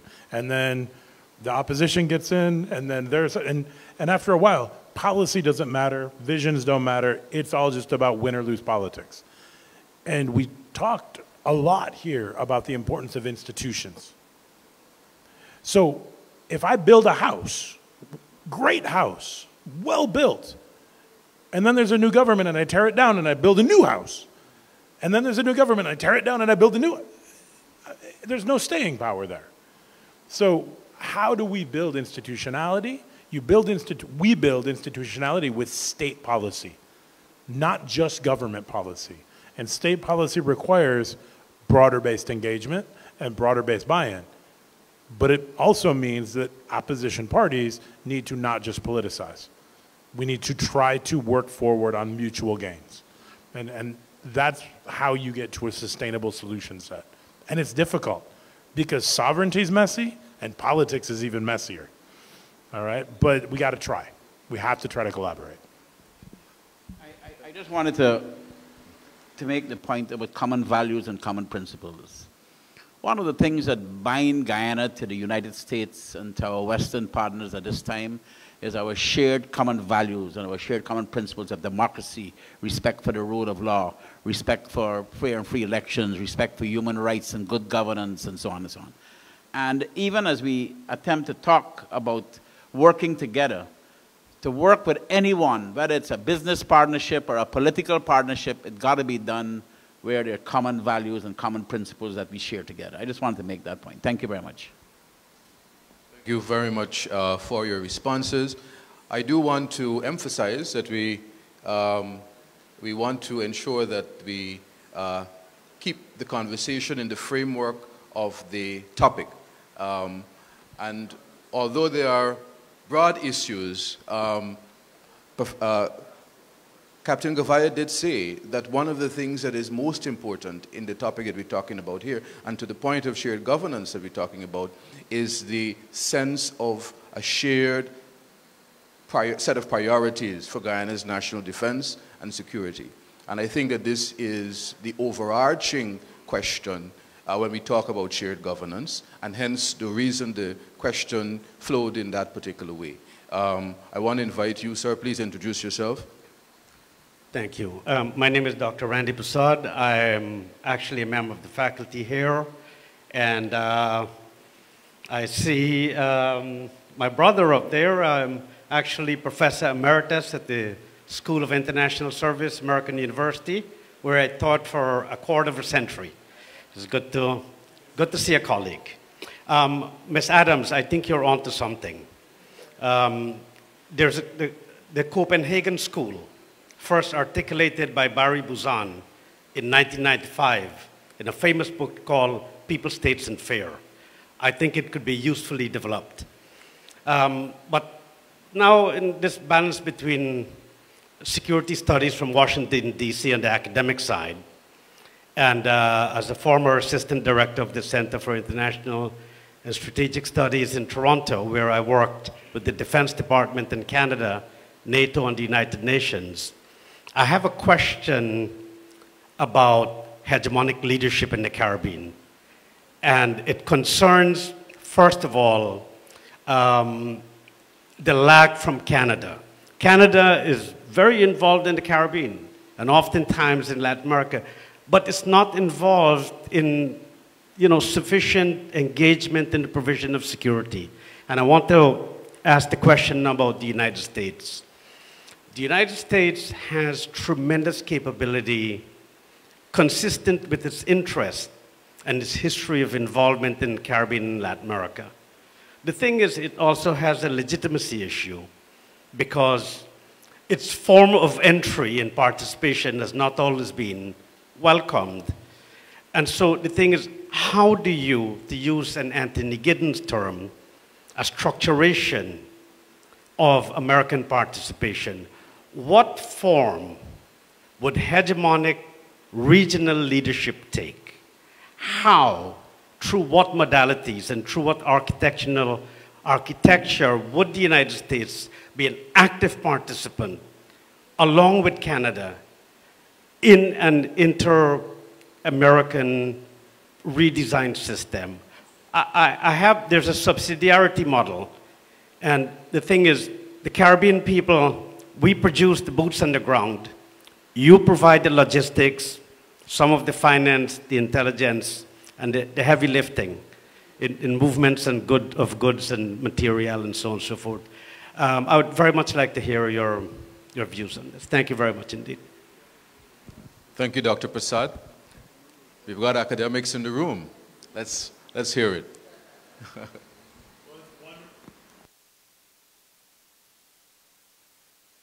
All right. Wonderful to see you. When I, when I saw you walk in, I remember time together at American University, so it's fantastic to see you. Um, um, this is difficult. It's messy. Um, I find myself on different grounds here. I've, I've taught at American University. I currently work for the United States Department of Defense. That was a very difficult step for me based on my background, what I'd studied, where I'd worked. But at my current job, I teach multidimensional security, where I talk about development, environment, things like that, with senior political leaders, defense leaders, security leaders from the Americas. At the same time, um, we do this in a shared governance framework. So I'm given by the Department of Defense to the Inter-American Defense College. It's housed in Washington. But my boss, my chief of studies, is Mexican. My vice director is Brazilian. We speak four languages. And as we engage, there's no doctrinal framework. So I have a student from Guyana that is there. He gets just as much voice as the Americans in my classroom. And I don't teach American doctrine. We say, how do we deal with shared security challenges?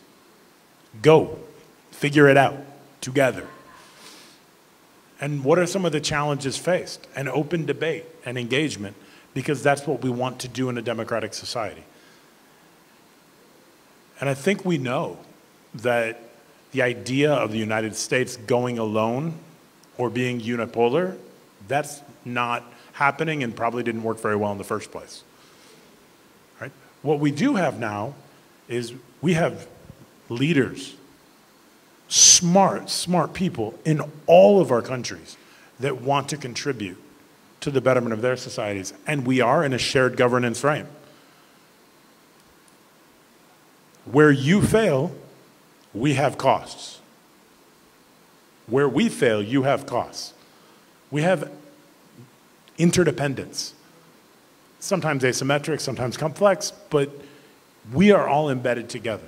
And so we need to find ways to work together. And I think the idea of building trust, it's not easy. We need to be as transparent as possible. We need to build relationships. We need to move on these things. We need to use academia to help us have dialogues that are difficult to have in a state level. It's because I work in academia that I can talk about a little bit. All right? I'm not an ambassador. But hopefully, I can contribute. Dr. Bitencourt can contribute. Everyone here at this panel, that we all have linkages with states. As we do that, how can we open dialogue, open engagement, and try to work together towards solutions to very complex issues? And, and sometimes we need to be involved with people we don't like. That's part of negotiation. So we need to work together and find ways. Well, I have a slightly different perspective from, from Mark. Uh, he said that he speaks for different governments. I mean, I speak for no government. I work for the U.S. government, but the U.S. government is not responsible at all for the things I'm saying here. That's true. That's true. Just some points that is my own thinking on that. I think your question is quite to the mark.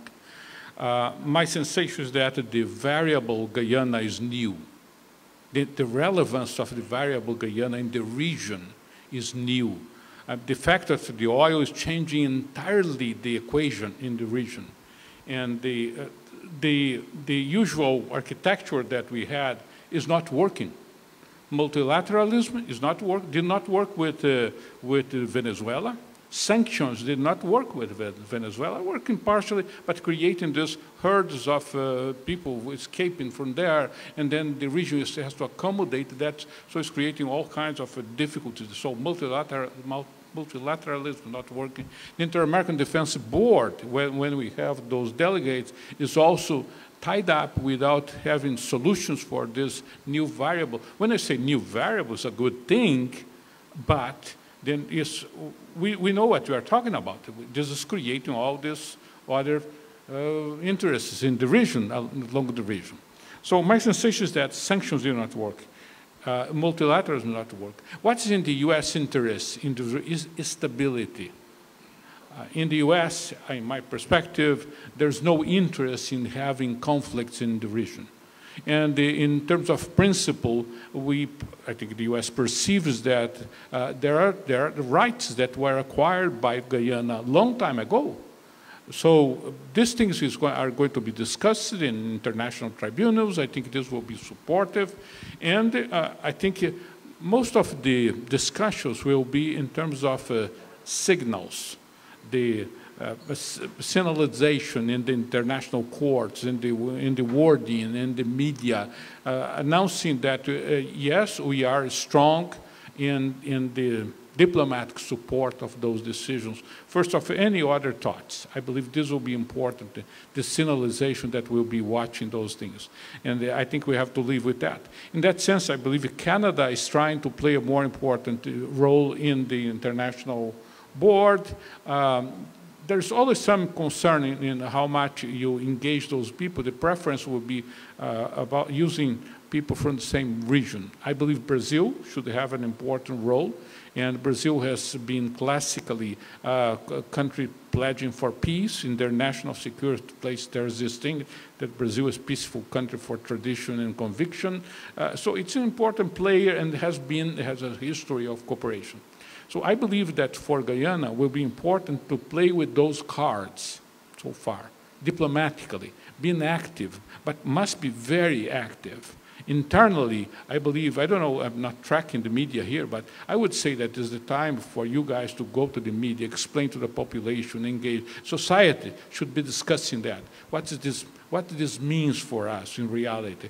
What's the strategic concern with the engaging the, the people? Think tanks the creation of this national defense institute should be should have some role in that. So I think you are in the words of the idea so far, and it's it will be better for the future if you can win the battles of ideas before getting to the battles of weapons. Well, thanks. We have two questions. Thank you so much, uh, Dr. Hamilton and Dr. Bitencourt. Um, and thank you, Dr. Persaud, for your question, which was, uh, was, was very, very necessary and useful, especially as we dis discuss sort of institutional arrangements. We have a question online uh, from Mr. George Benson and sort of relates to this multi-dimensionality that uh, Dr. Hamilton spoke about. His question at the core of resiliency, really. Is there any thought to what our various defense infrastructures need to start focusing on in view of the long-term predictions of climate change and sea level rise and other issues that affect um, resilience in this part of the world? It's open to anybody who wants to start on that. Yes. it's uh, within a Caribbean structure, but just globally, engaging with um, what are we dealing with within climate. We're seeing effects everywhere. I think some of the effects are more acute uh, within the Caribbean, but in, in my classes and as I engage with students, um, especially my students coming from Caribbean nations, um, coming from particular parts of the world, they say this is our number one concern. Um, and so I think it, it varies, but the idea that we need to pay attention to it is, is, is just yes. And I think the Perry Center is, is trying to play a lead role with this. Yeah, George Benson is a, a, good friend, is also a professor, that uh, cooperates with the Perry Center in several programs with the Caribbean. So thank you, George, for the question. Uh, yes, the Perry Center is very concerned about that. We have stellar professors de dealing with that. Uh, my auto self-criticism is the following. I have a sensation that we have been uh, able to describe the problem that has been with us for over 50 years. We describe the different fa facets of, of, the crime, organized crime, and jail system, and all the things that create crime, but we are failing in discussing solutions for the problem. Some solutions have been tried, uh, in Rio, they tried this UPP solution with the pol uh, police pacifier, police things. Um, we have been exchanging more information between police, but we have been failed dramatically. And, the, the, number of seizures that we have, the numbers of uh, in, in, uh, criminals that are now being arrested, but the, the thing is always growing. And the, in my view, we are failing to discuss what are the effective ways to better fight that. Because this is a war we are, we are losing for a long time. And this is, well, it's associated to drugs, yes, it's, it's all linked. But see, for example, what's happening in Haiti now. There's a criminal component in, behind that. How do we deal with that? And we try several times to deal with that. So this is one of the uh, critical issues that we have in the region. Yes, in the Perry Center we have been trying that. I think we, we need to do better in now trying to assess solutions that have been trying, see why they failed at some time. And, and go, I mean, beyond the platitudes, to say, well, the, you know, the political environment was not favorable. I mean, this is not an answer. Give me a break. Of course, there is always political interest, but we have to know why we have this issue and why we have been able to describe so well the, the, the, causes and the rationale, but we have been failing as institutions in addressing these solutions. So not a good answer, but just to dramatize the, the, the problem that we have. Thank you, Dr. Bitencourt. Um, and in a sense, you preempted with your response the next question. Um, and this question I want to, with the permission of the the person who posted the question, Captain uh, Kevon Lewis, I want to, um, to break it up into two, two distinct questions. The first part builds on what, on what you talked about, and which is how do we effectively engage through these structures and these agendas young people, one, as a sector that needs attention, uh, that is because of the impacts of the life cycle, the youth life cycle, on their own performance, their own lives, and then how that feeds into uh, society, such as in the case of gangs and so on. But also, as Captain uh, talks about it here, this question of succession planning, uh, this, this idea of building, building towards the future. And here he references President Ali's uh, presentation and sort of challenge to the university and to all of us to set up a program on hemispheric and security studies within the CXC community. So I'm asking the question in the context of youth engagement, youth participation, but from two standpoints. One is a sector that needs attention, a sector uh, that needs investment, uh, and a sort of sectoral response within the broader national security infrastructure, but also how do we then prepare leaders who are going to be future leaders in national defense and national security? This is open to the panel. Well, I think, um, I think the president himself um, spoke this morning about the Defense Institute, about the, the, now there's a bigger focus on, on strategic development studies, which a big component of that is defense, um, the defense discipline. And I think the fact that now we are looking to do it into the schools, in terms of succession planning, um, and even now at the level of the, of the Guyana Defense Force and their training of officers, the whole training of officers has moved far beyond just military tactics and strategy. There's a big academic, pro, academic component to that. And so I think we are preparing the young people for leadership um, in a very effective way. Um, so I'm, I, am not, I'm not particularly worried at this time about our succession planning and the strategies that is employed just to add to what Captain said, I believe that a sector that we need to pay strong attention to right now is um, the IT sector in terms of cyber cyber threats and the cyber crimes that we are relatively new um, facing. Uh, I remember maybe like four years, I'm relatively young, so I can't speak many, many. yes many, a uh, couple of years ago, four or five years ago, I don't think, well, we did not pay that much attention to cyber threats as we did now. Now we have the emergence of AI. You see a huge emergence of spams, hacking, things that we are not very used to. And so I believe that this is a sector or a, you know, something that we need to pay attention to encourage more persons to join this, encourage more persons to focus on cybersecurity, be more adept, and just not persons focusing, but um, spreading awareness about it.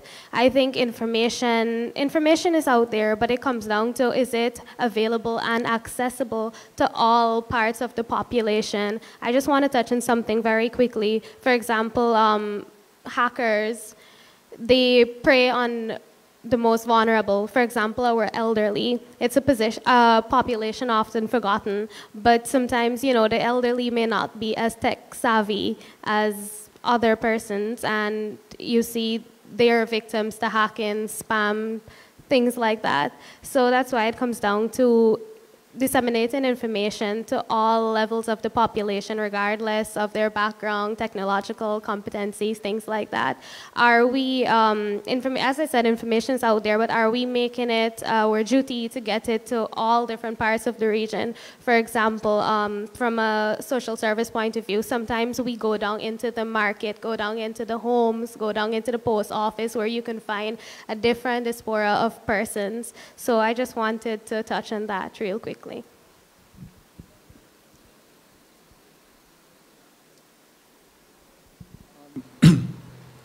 I just want to add a bit to what Ove said. Um, I think the youthful part of our population is about 60, 60 something percent. And um, I think at the national level, not just security, all sectors, we need to find a way how to engage and to have them a part of the national discourse dialogue. I think the issue has to do with quite a lot of our young people, despite the large segment, they're not matriculating, they're not moving on. So we have, uh, while the population of our young people are quite large, um, there's a difficulty in having them develop um, cognitive skills, the technical skills, and all of that. Um, the president pointed to some of the issues today. Um, while it will be an onerous task on the university, I think it has to go way into our secondary level, primary and secondary level. Um, the university receives what is produced and delivered by those two levels. And so I think the focus has to be placed um, even more seriously at the primary level. Um, it's not just good to say that we have a large um, youthful population, but how do we engage them? How do we utilize some of the skills? For example, um, the, the millennials, the Generation Zers, they think differently to the baby boomers. And so it, it, it is going to pose a real serious challenge on us as leaders. How do we merge? How do we um, utilize what they bring to the table? Baby boomers like you and I, I mean, we are not so technically savvy as they are. I mean, um, if I may say, um, we were born with our heads first, I think, most of us. But the, but the Generation Zers, they're born with their fingers first. So they are more technically savvy. And so at a national level, I think the conversation has to be how are we going to bring to bear those skills that they have to offer.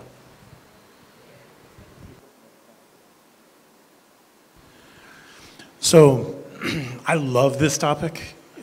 My doctoral research was on why young people join armed movements um, but in addition to that, the idea of why do young people matter in society?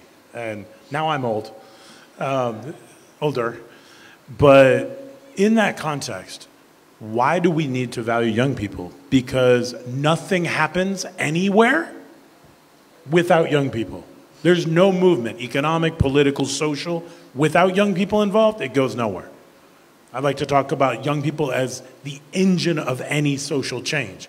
They're not always the engineers. Someone else might be riling it up, but young people are going to be what's going to bring it. So if we do not invest into young people, what's the point? And if we're trying to build a secure future for young people, but don't involve them in thinking about that security, what's the point?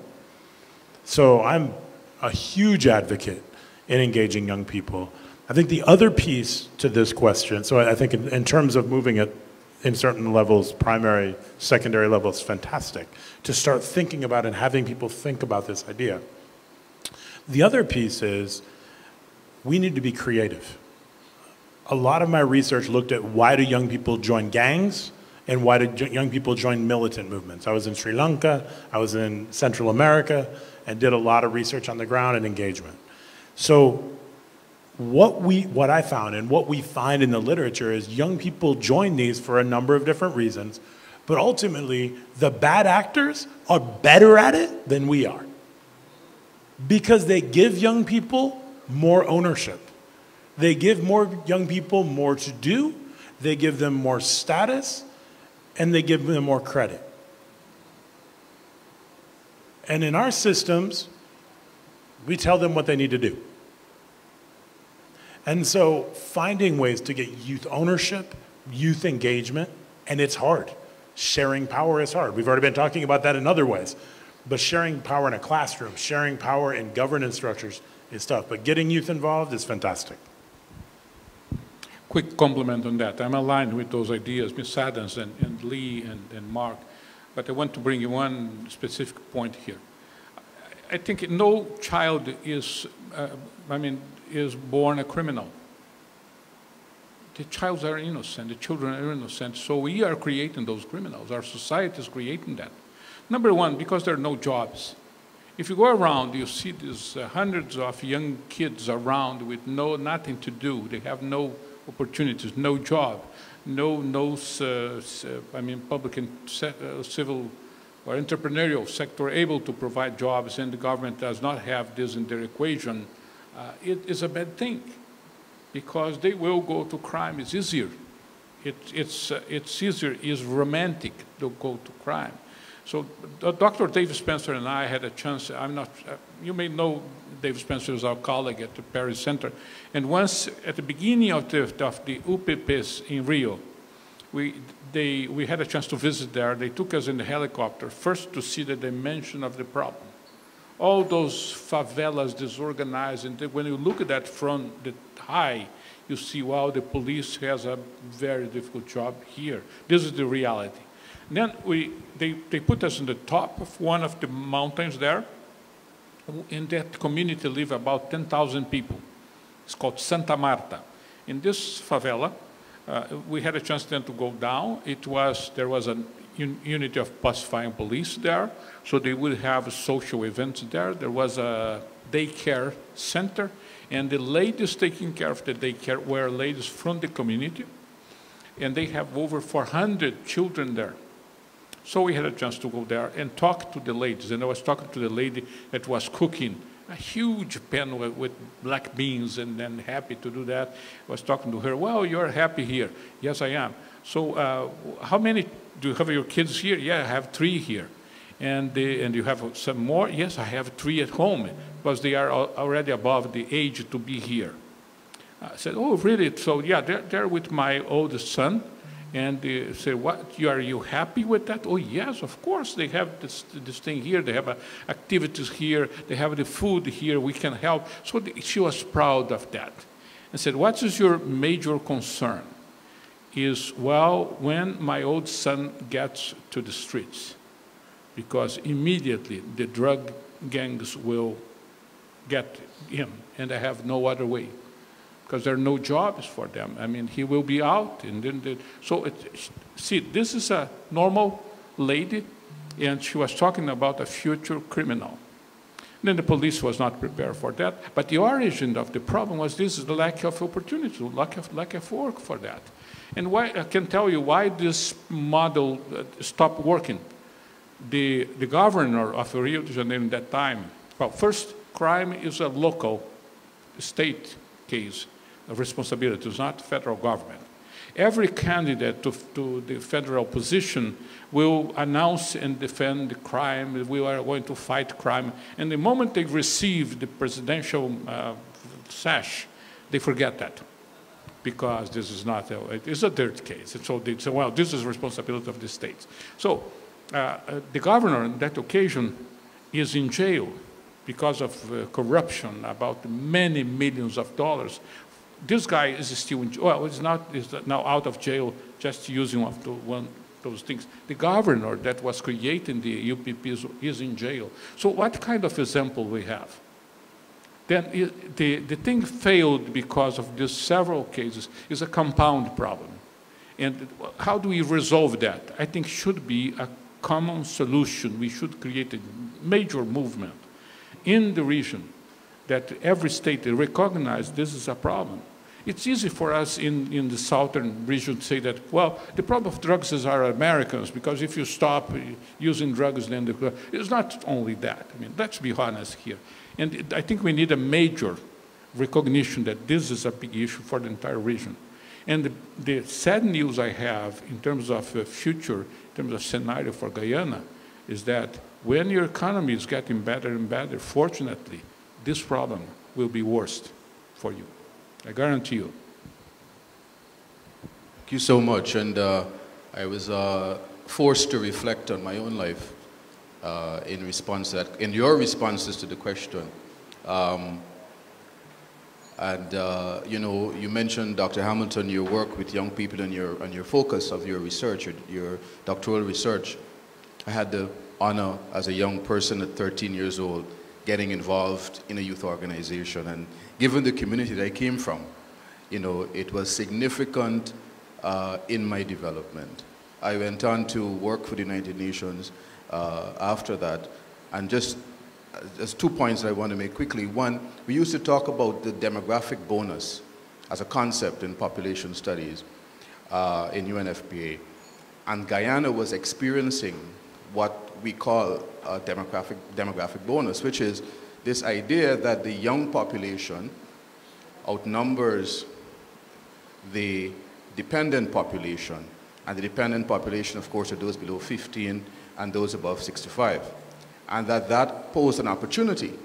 But the, the flip side of that, it also posed a significant security challenge. So in my role at the time as a special youth fellow, the headquarters in, uh, for, for the UNFPA, we were looking at programs in Latin America and the Caribbean. Incidentally, I visited Ecuador.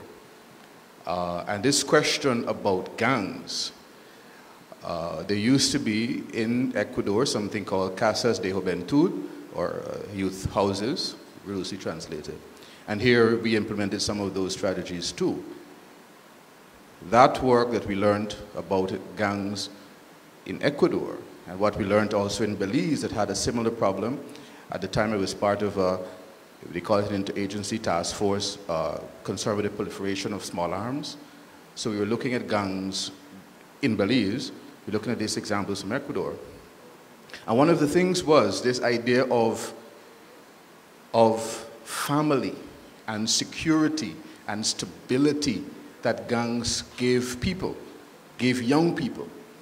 And we see what is happening right now in Ecuador, just to mention, right?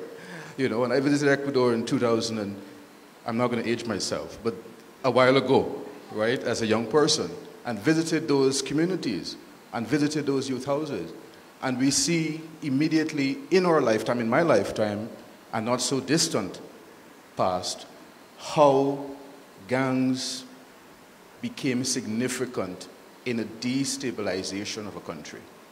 Uh, so I just want to leave that there. Uh, I'm not a security expert though, and I have several, uh, you know, youth experiences that I'm grateful for. Uh, I do want to invite one last comment, two comments. we are a little bit over, we're, we're more than a little bit over, but we'll make up, I promise. I want to invite, please introduce yourself um, and share your comment. Hello, my, na my name is Michelle King, and I work on security sector reform with the Guyana Police Force. So my background is City of London Police, I was chief officer there. The youth problem is a multi-dimensional problem. And coming uh, to Ovi's comment, can range from failure management within other services, other public services. So what you have with defense and policing is a failure in the education services results in young people leaving education very early. So that's why that becomes a pathway to the streets, okay? We put in place youth offending teams to actually address pupils that actually leave education early. We don't see the whole thing as a problem, though, because the youth present an opportunity for the state, which, if not managed, the youth can actually destabilize government. If you look at what's happening in the UK, the youth are driving a lot of the, the agenda around changes in gender, pronouns, he, she, them, they, okay? When we look at what happened with the Arab Spring, that was young people. If you look at what's going on in social media, that is young people. We set up social media teams, okay, which young people look after for the police we set up national cyber security academies, which are probably managed 100% by young people because they are IT savvy. Okay? So we see young people as a big opportunity. They're the leaders of the future. They're not necessarily a problem. They're only a problem if you don't manage them.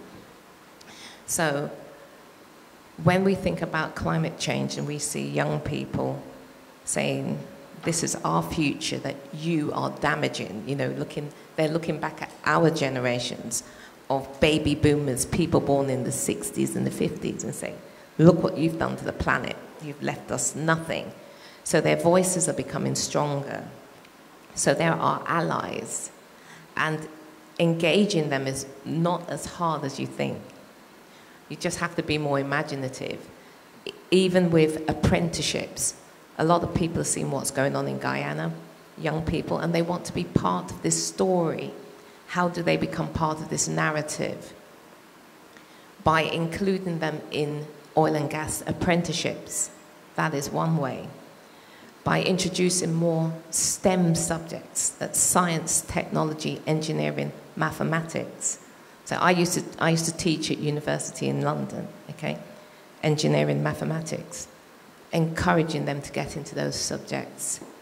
Again, technology, big one with young people, particularly in defense, as I said, cyber, cybercrime, social media, listening to chatter. A lot of fraud management, cryptocurrency, all of this area is really effectively managed in the UK by young people. So they are a success story. They're not a problem, but you just have to bring them in in the you know in a cohesive way, instead of seeing them as something to be managed. And I think Ovi's Ovi's point, very very important. Failure management within other public services leads to a huge demand in the Guyana police force. We cannot be health, we cannot be social services, we cannot be education. We can only manage policing. And that means failure management needs to be contained and accountability addressed. Thank you.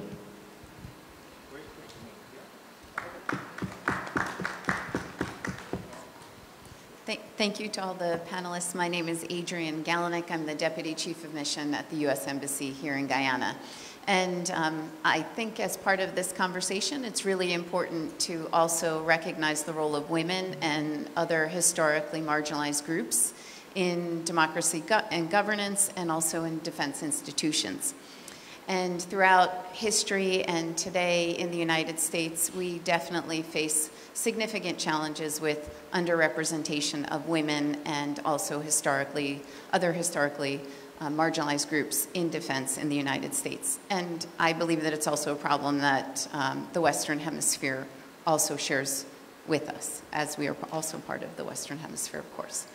Um, but my challenge to um, the University of Guyana and to the Inter-American Defense College and the Perry Center, and I would expand this to all defense institutions of, of higher learning, professional military education, is to recognize um, and very purposefully look at the curriculum and the role that women and other historically marginalized groups have played in the history of um, conflict, but in the history of finding solutions.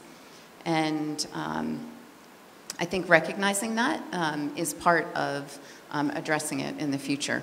And I would challenge anyone who has gone through a United States professional military education system to tell me um, if they know um, that uh, on war, Klaus, Karl von Clausewitz is on war, we should really be thanking a woman for that because it wouldn't exist if it weren't for her his, his wife published it, um, and it wouldn't exist without her, and he entrusted her to do that. So that's my final comment.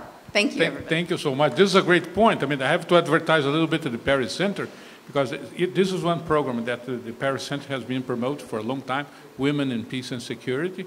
Uh, also, we are glad to see in our region, in the defense establishment, more and more women, including one of our bosses there, I mean, General Richardson in SOUTHCOM. He is a very strong woman. And so I'm glad to say that the, the Perry Center is, is, doing a great job in that too. Thank you. I fully agree with you. By, by the way, who commends my house is a strong woman. Thank, thank you very much um, for your intervention, and thank you, Dr. Bitencourt, for your response. Uh, we're just at 10 minutes uh, to the hour, so we do want to uh, move on very quickly. Um, I want to, without delay really, introduce, and I was going to buy time, but I see uh, DVC Cummings is here. DVC Cummings is the Deputy Vice Chancellor of the University of Guyana with responsibility for academic engagement. Uh, there is a subunit also uh, that is developing within that unit uh, that DVC can speak to. DVC Cummings is no stranger to our landscape. Um, he is well accomplished in his field. He is very much well known in the medical sciences. DVC Cummings will give uh, and raise vote of thanks on behalf of the university. Uh, sorry, closing remarks on behalf of the university. Thank you very much, Mr. Chairman. Um, pleasant good evening to all of you. I think we've spent the entire day talking about security, and that indeed indicates the importance of this important subject um, to us in the country, in the region, and the world at large, as we are in the presence of a number of um, military um, engagement across the world.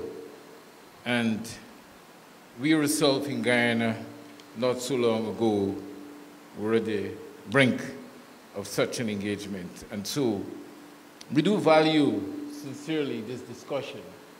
I do think that the University of Guyana is extremely grateful for having this discourse, for having all of these experts here. Um, if I can recall their names, I have the names written somewhere. Um, Dr. Louis Bitencourt from the Perry Center, um, Dr. Hamilton from the U.S. Defense College, um, retired Colonel Wilbert Lee, um, our own and distinguished expert in the aviation and, and, and security, Captain Major Jerry Gouveia. well, you can be a captain and major at the same time. We call you captain because of aviation duties, but you were, uh, we told you were also a major. And the woman among us, our social worker, Ove Adams, and also this morning itself, um, it's all been discourse about security, and it shows how important this subject is to us here at the University of Guyana.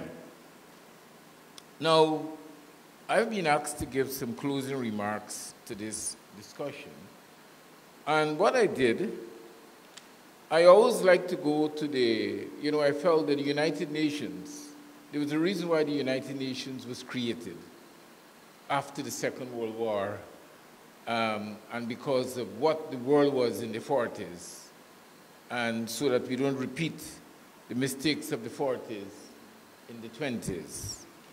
And so the United Nations, to my mind, always try to provide guidance, Vice Chancellor, to us in the way we act. And, and, and all of the discussions that we had all evening and all day, when I looked at the United Nations, there are 17 sustainable goals. And I think every country, their developmental strategy is patterned or is informed by the United Nations Sustainable Goal. And even the university, in the context of what we do, it is also, we try as much as possible to keep very close. I looked at the 17 goals, and there are two that deals with issues of security.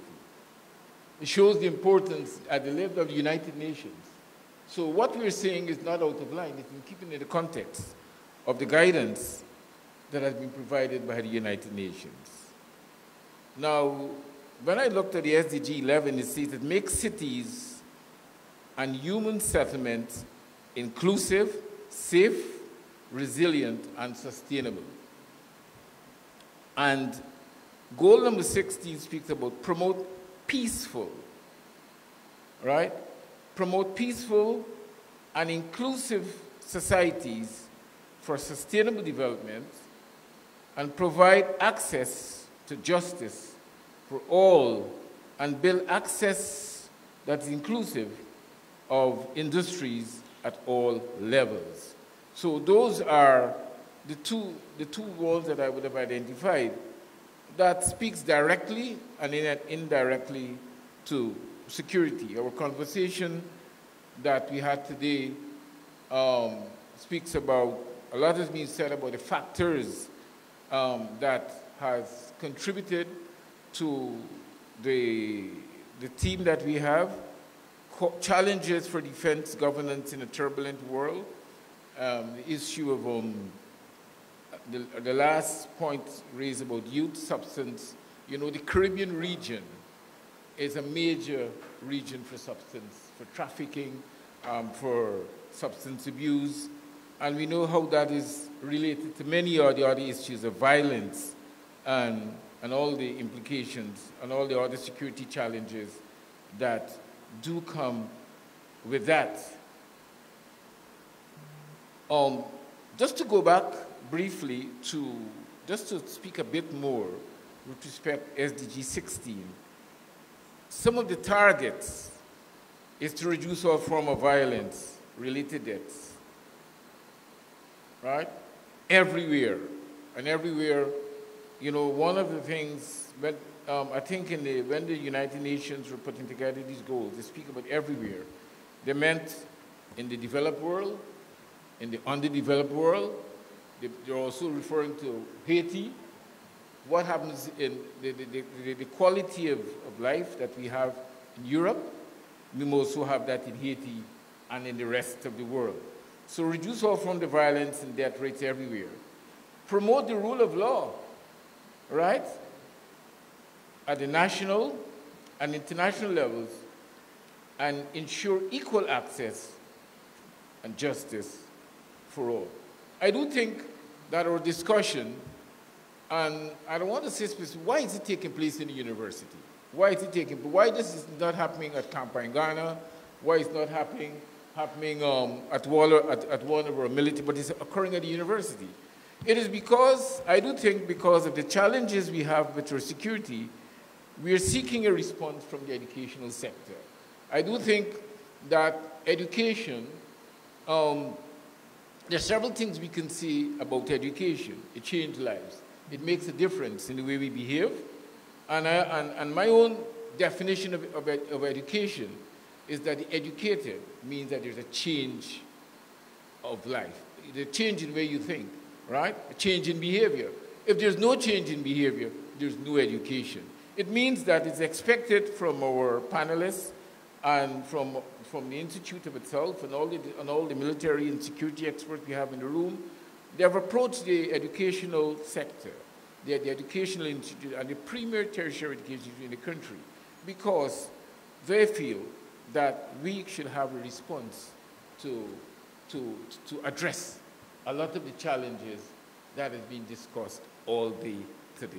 And so, Director, I think you have a great challenge to ensure from two aspects teaching and research. There's a lot of opportunities. All that we're discussing this afternoon do should, um, should, should work as a, as a platform for, for the designing of curriculum, all the discussions that we have all day, the way we reform our curriculum to address issues of security so as to make a difference, so that we can have that change of behavior among our people, but also research. There is so much research um, that um, that, that, that, that from, from, from, this, from these kinds of discussions. And those are the two things that I think will make us, can make our society um, a much safer and a much better place for us to, to survive. And just in closing, I just wanted to um, go to one of the um, issues, one of the things that I would have prepared here.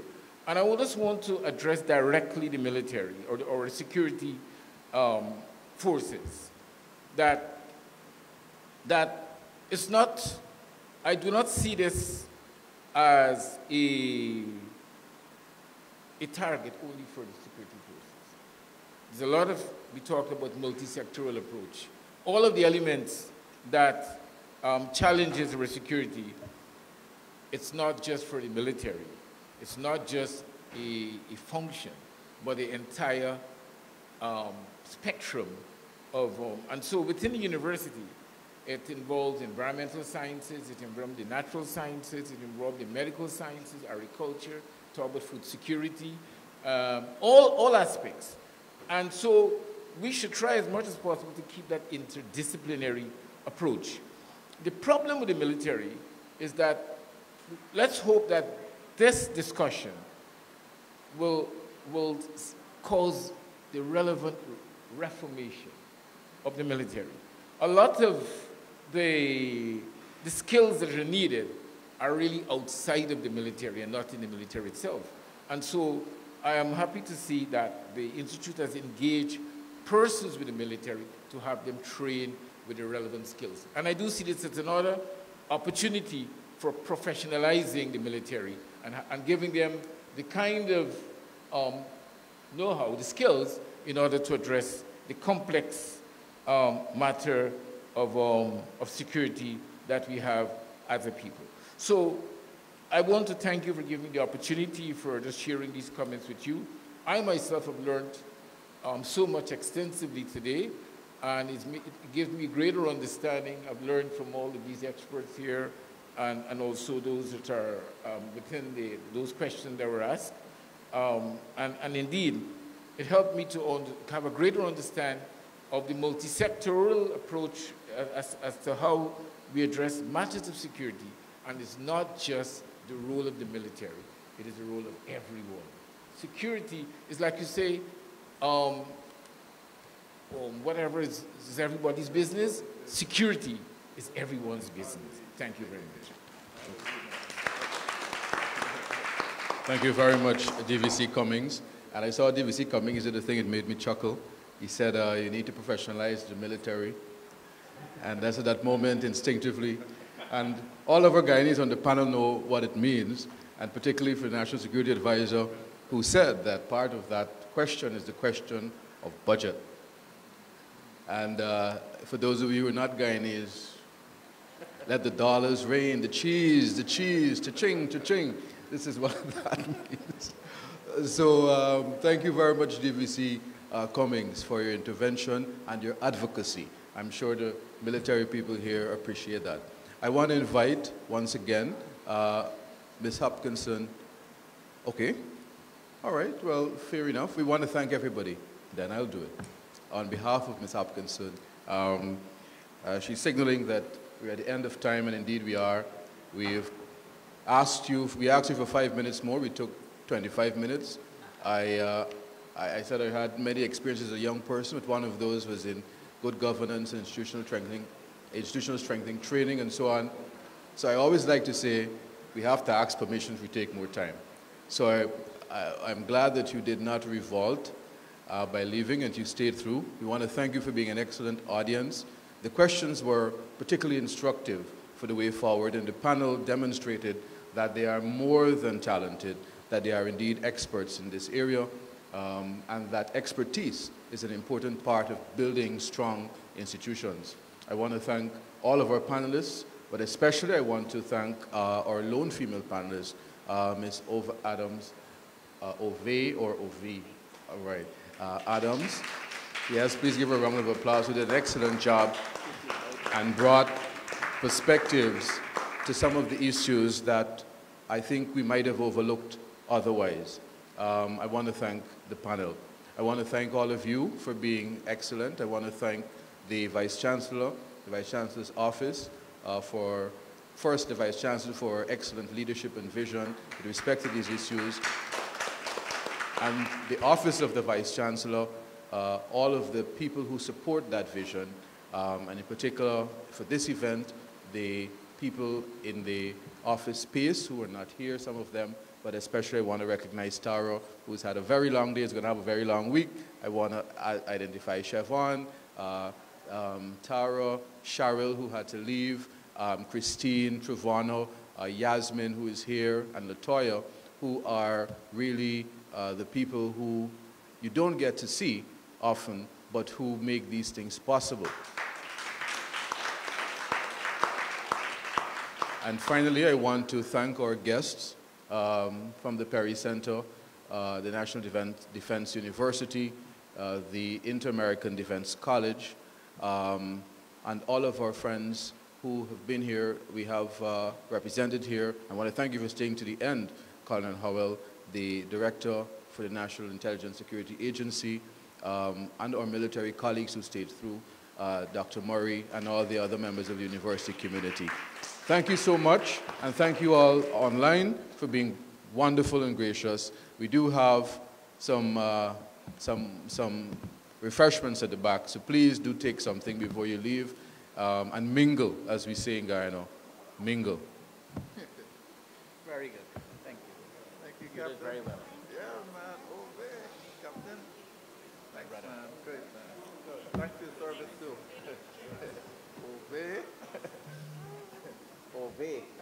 There's a request for the panel to um, huddle somewhere.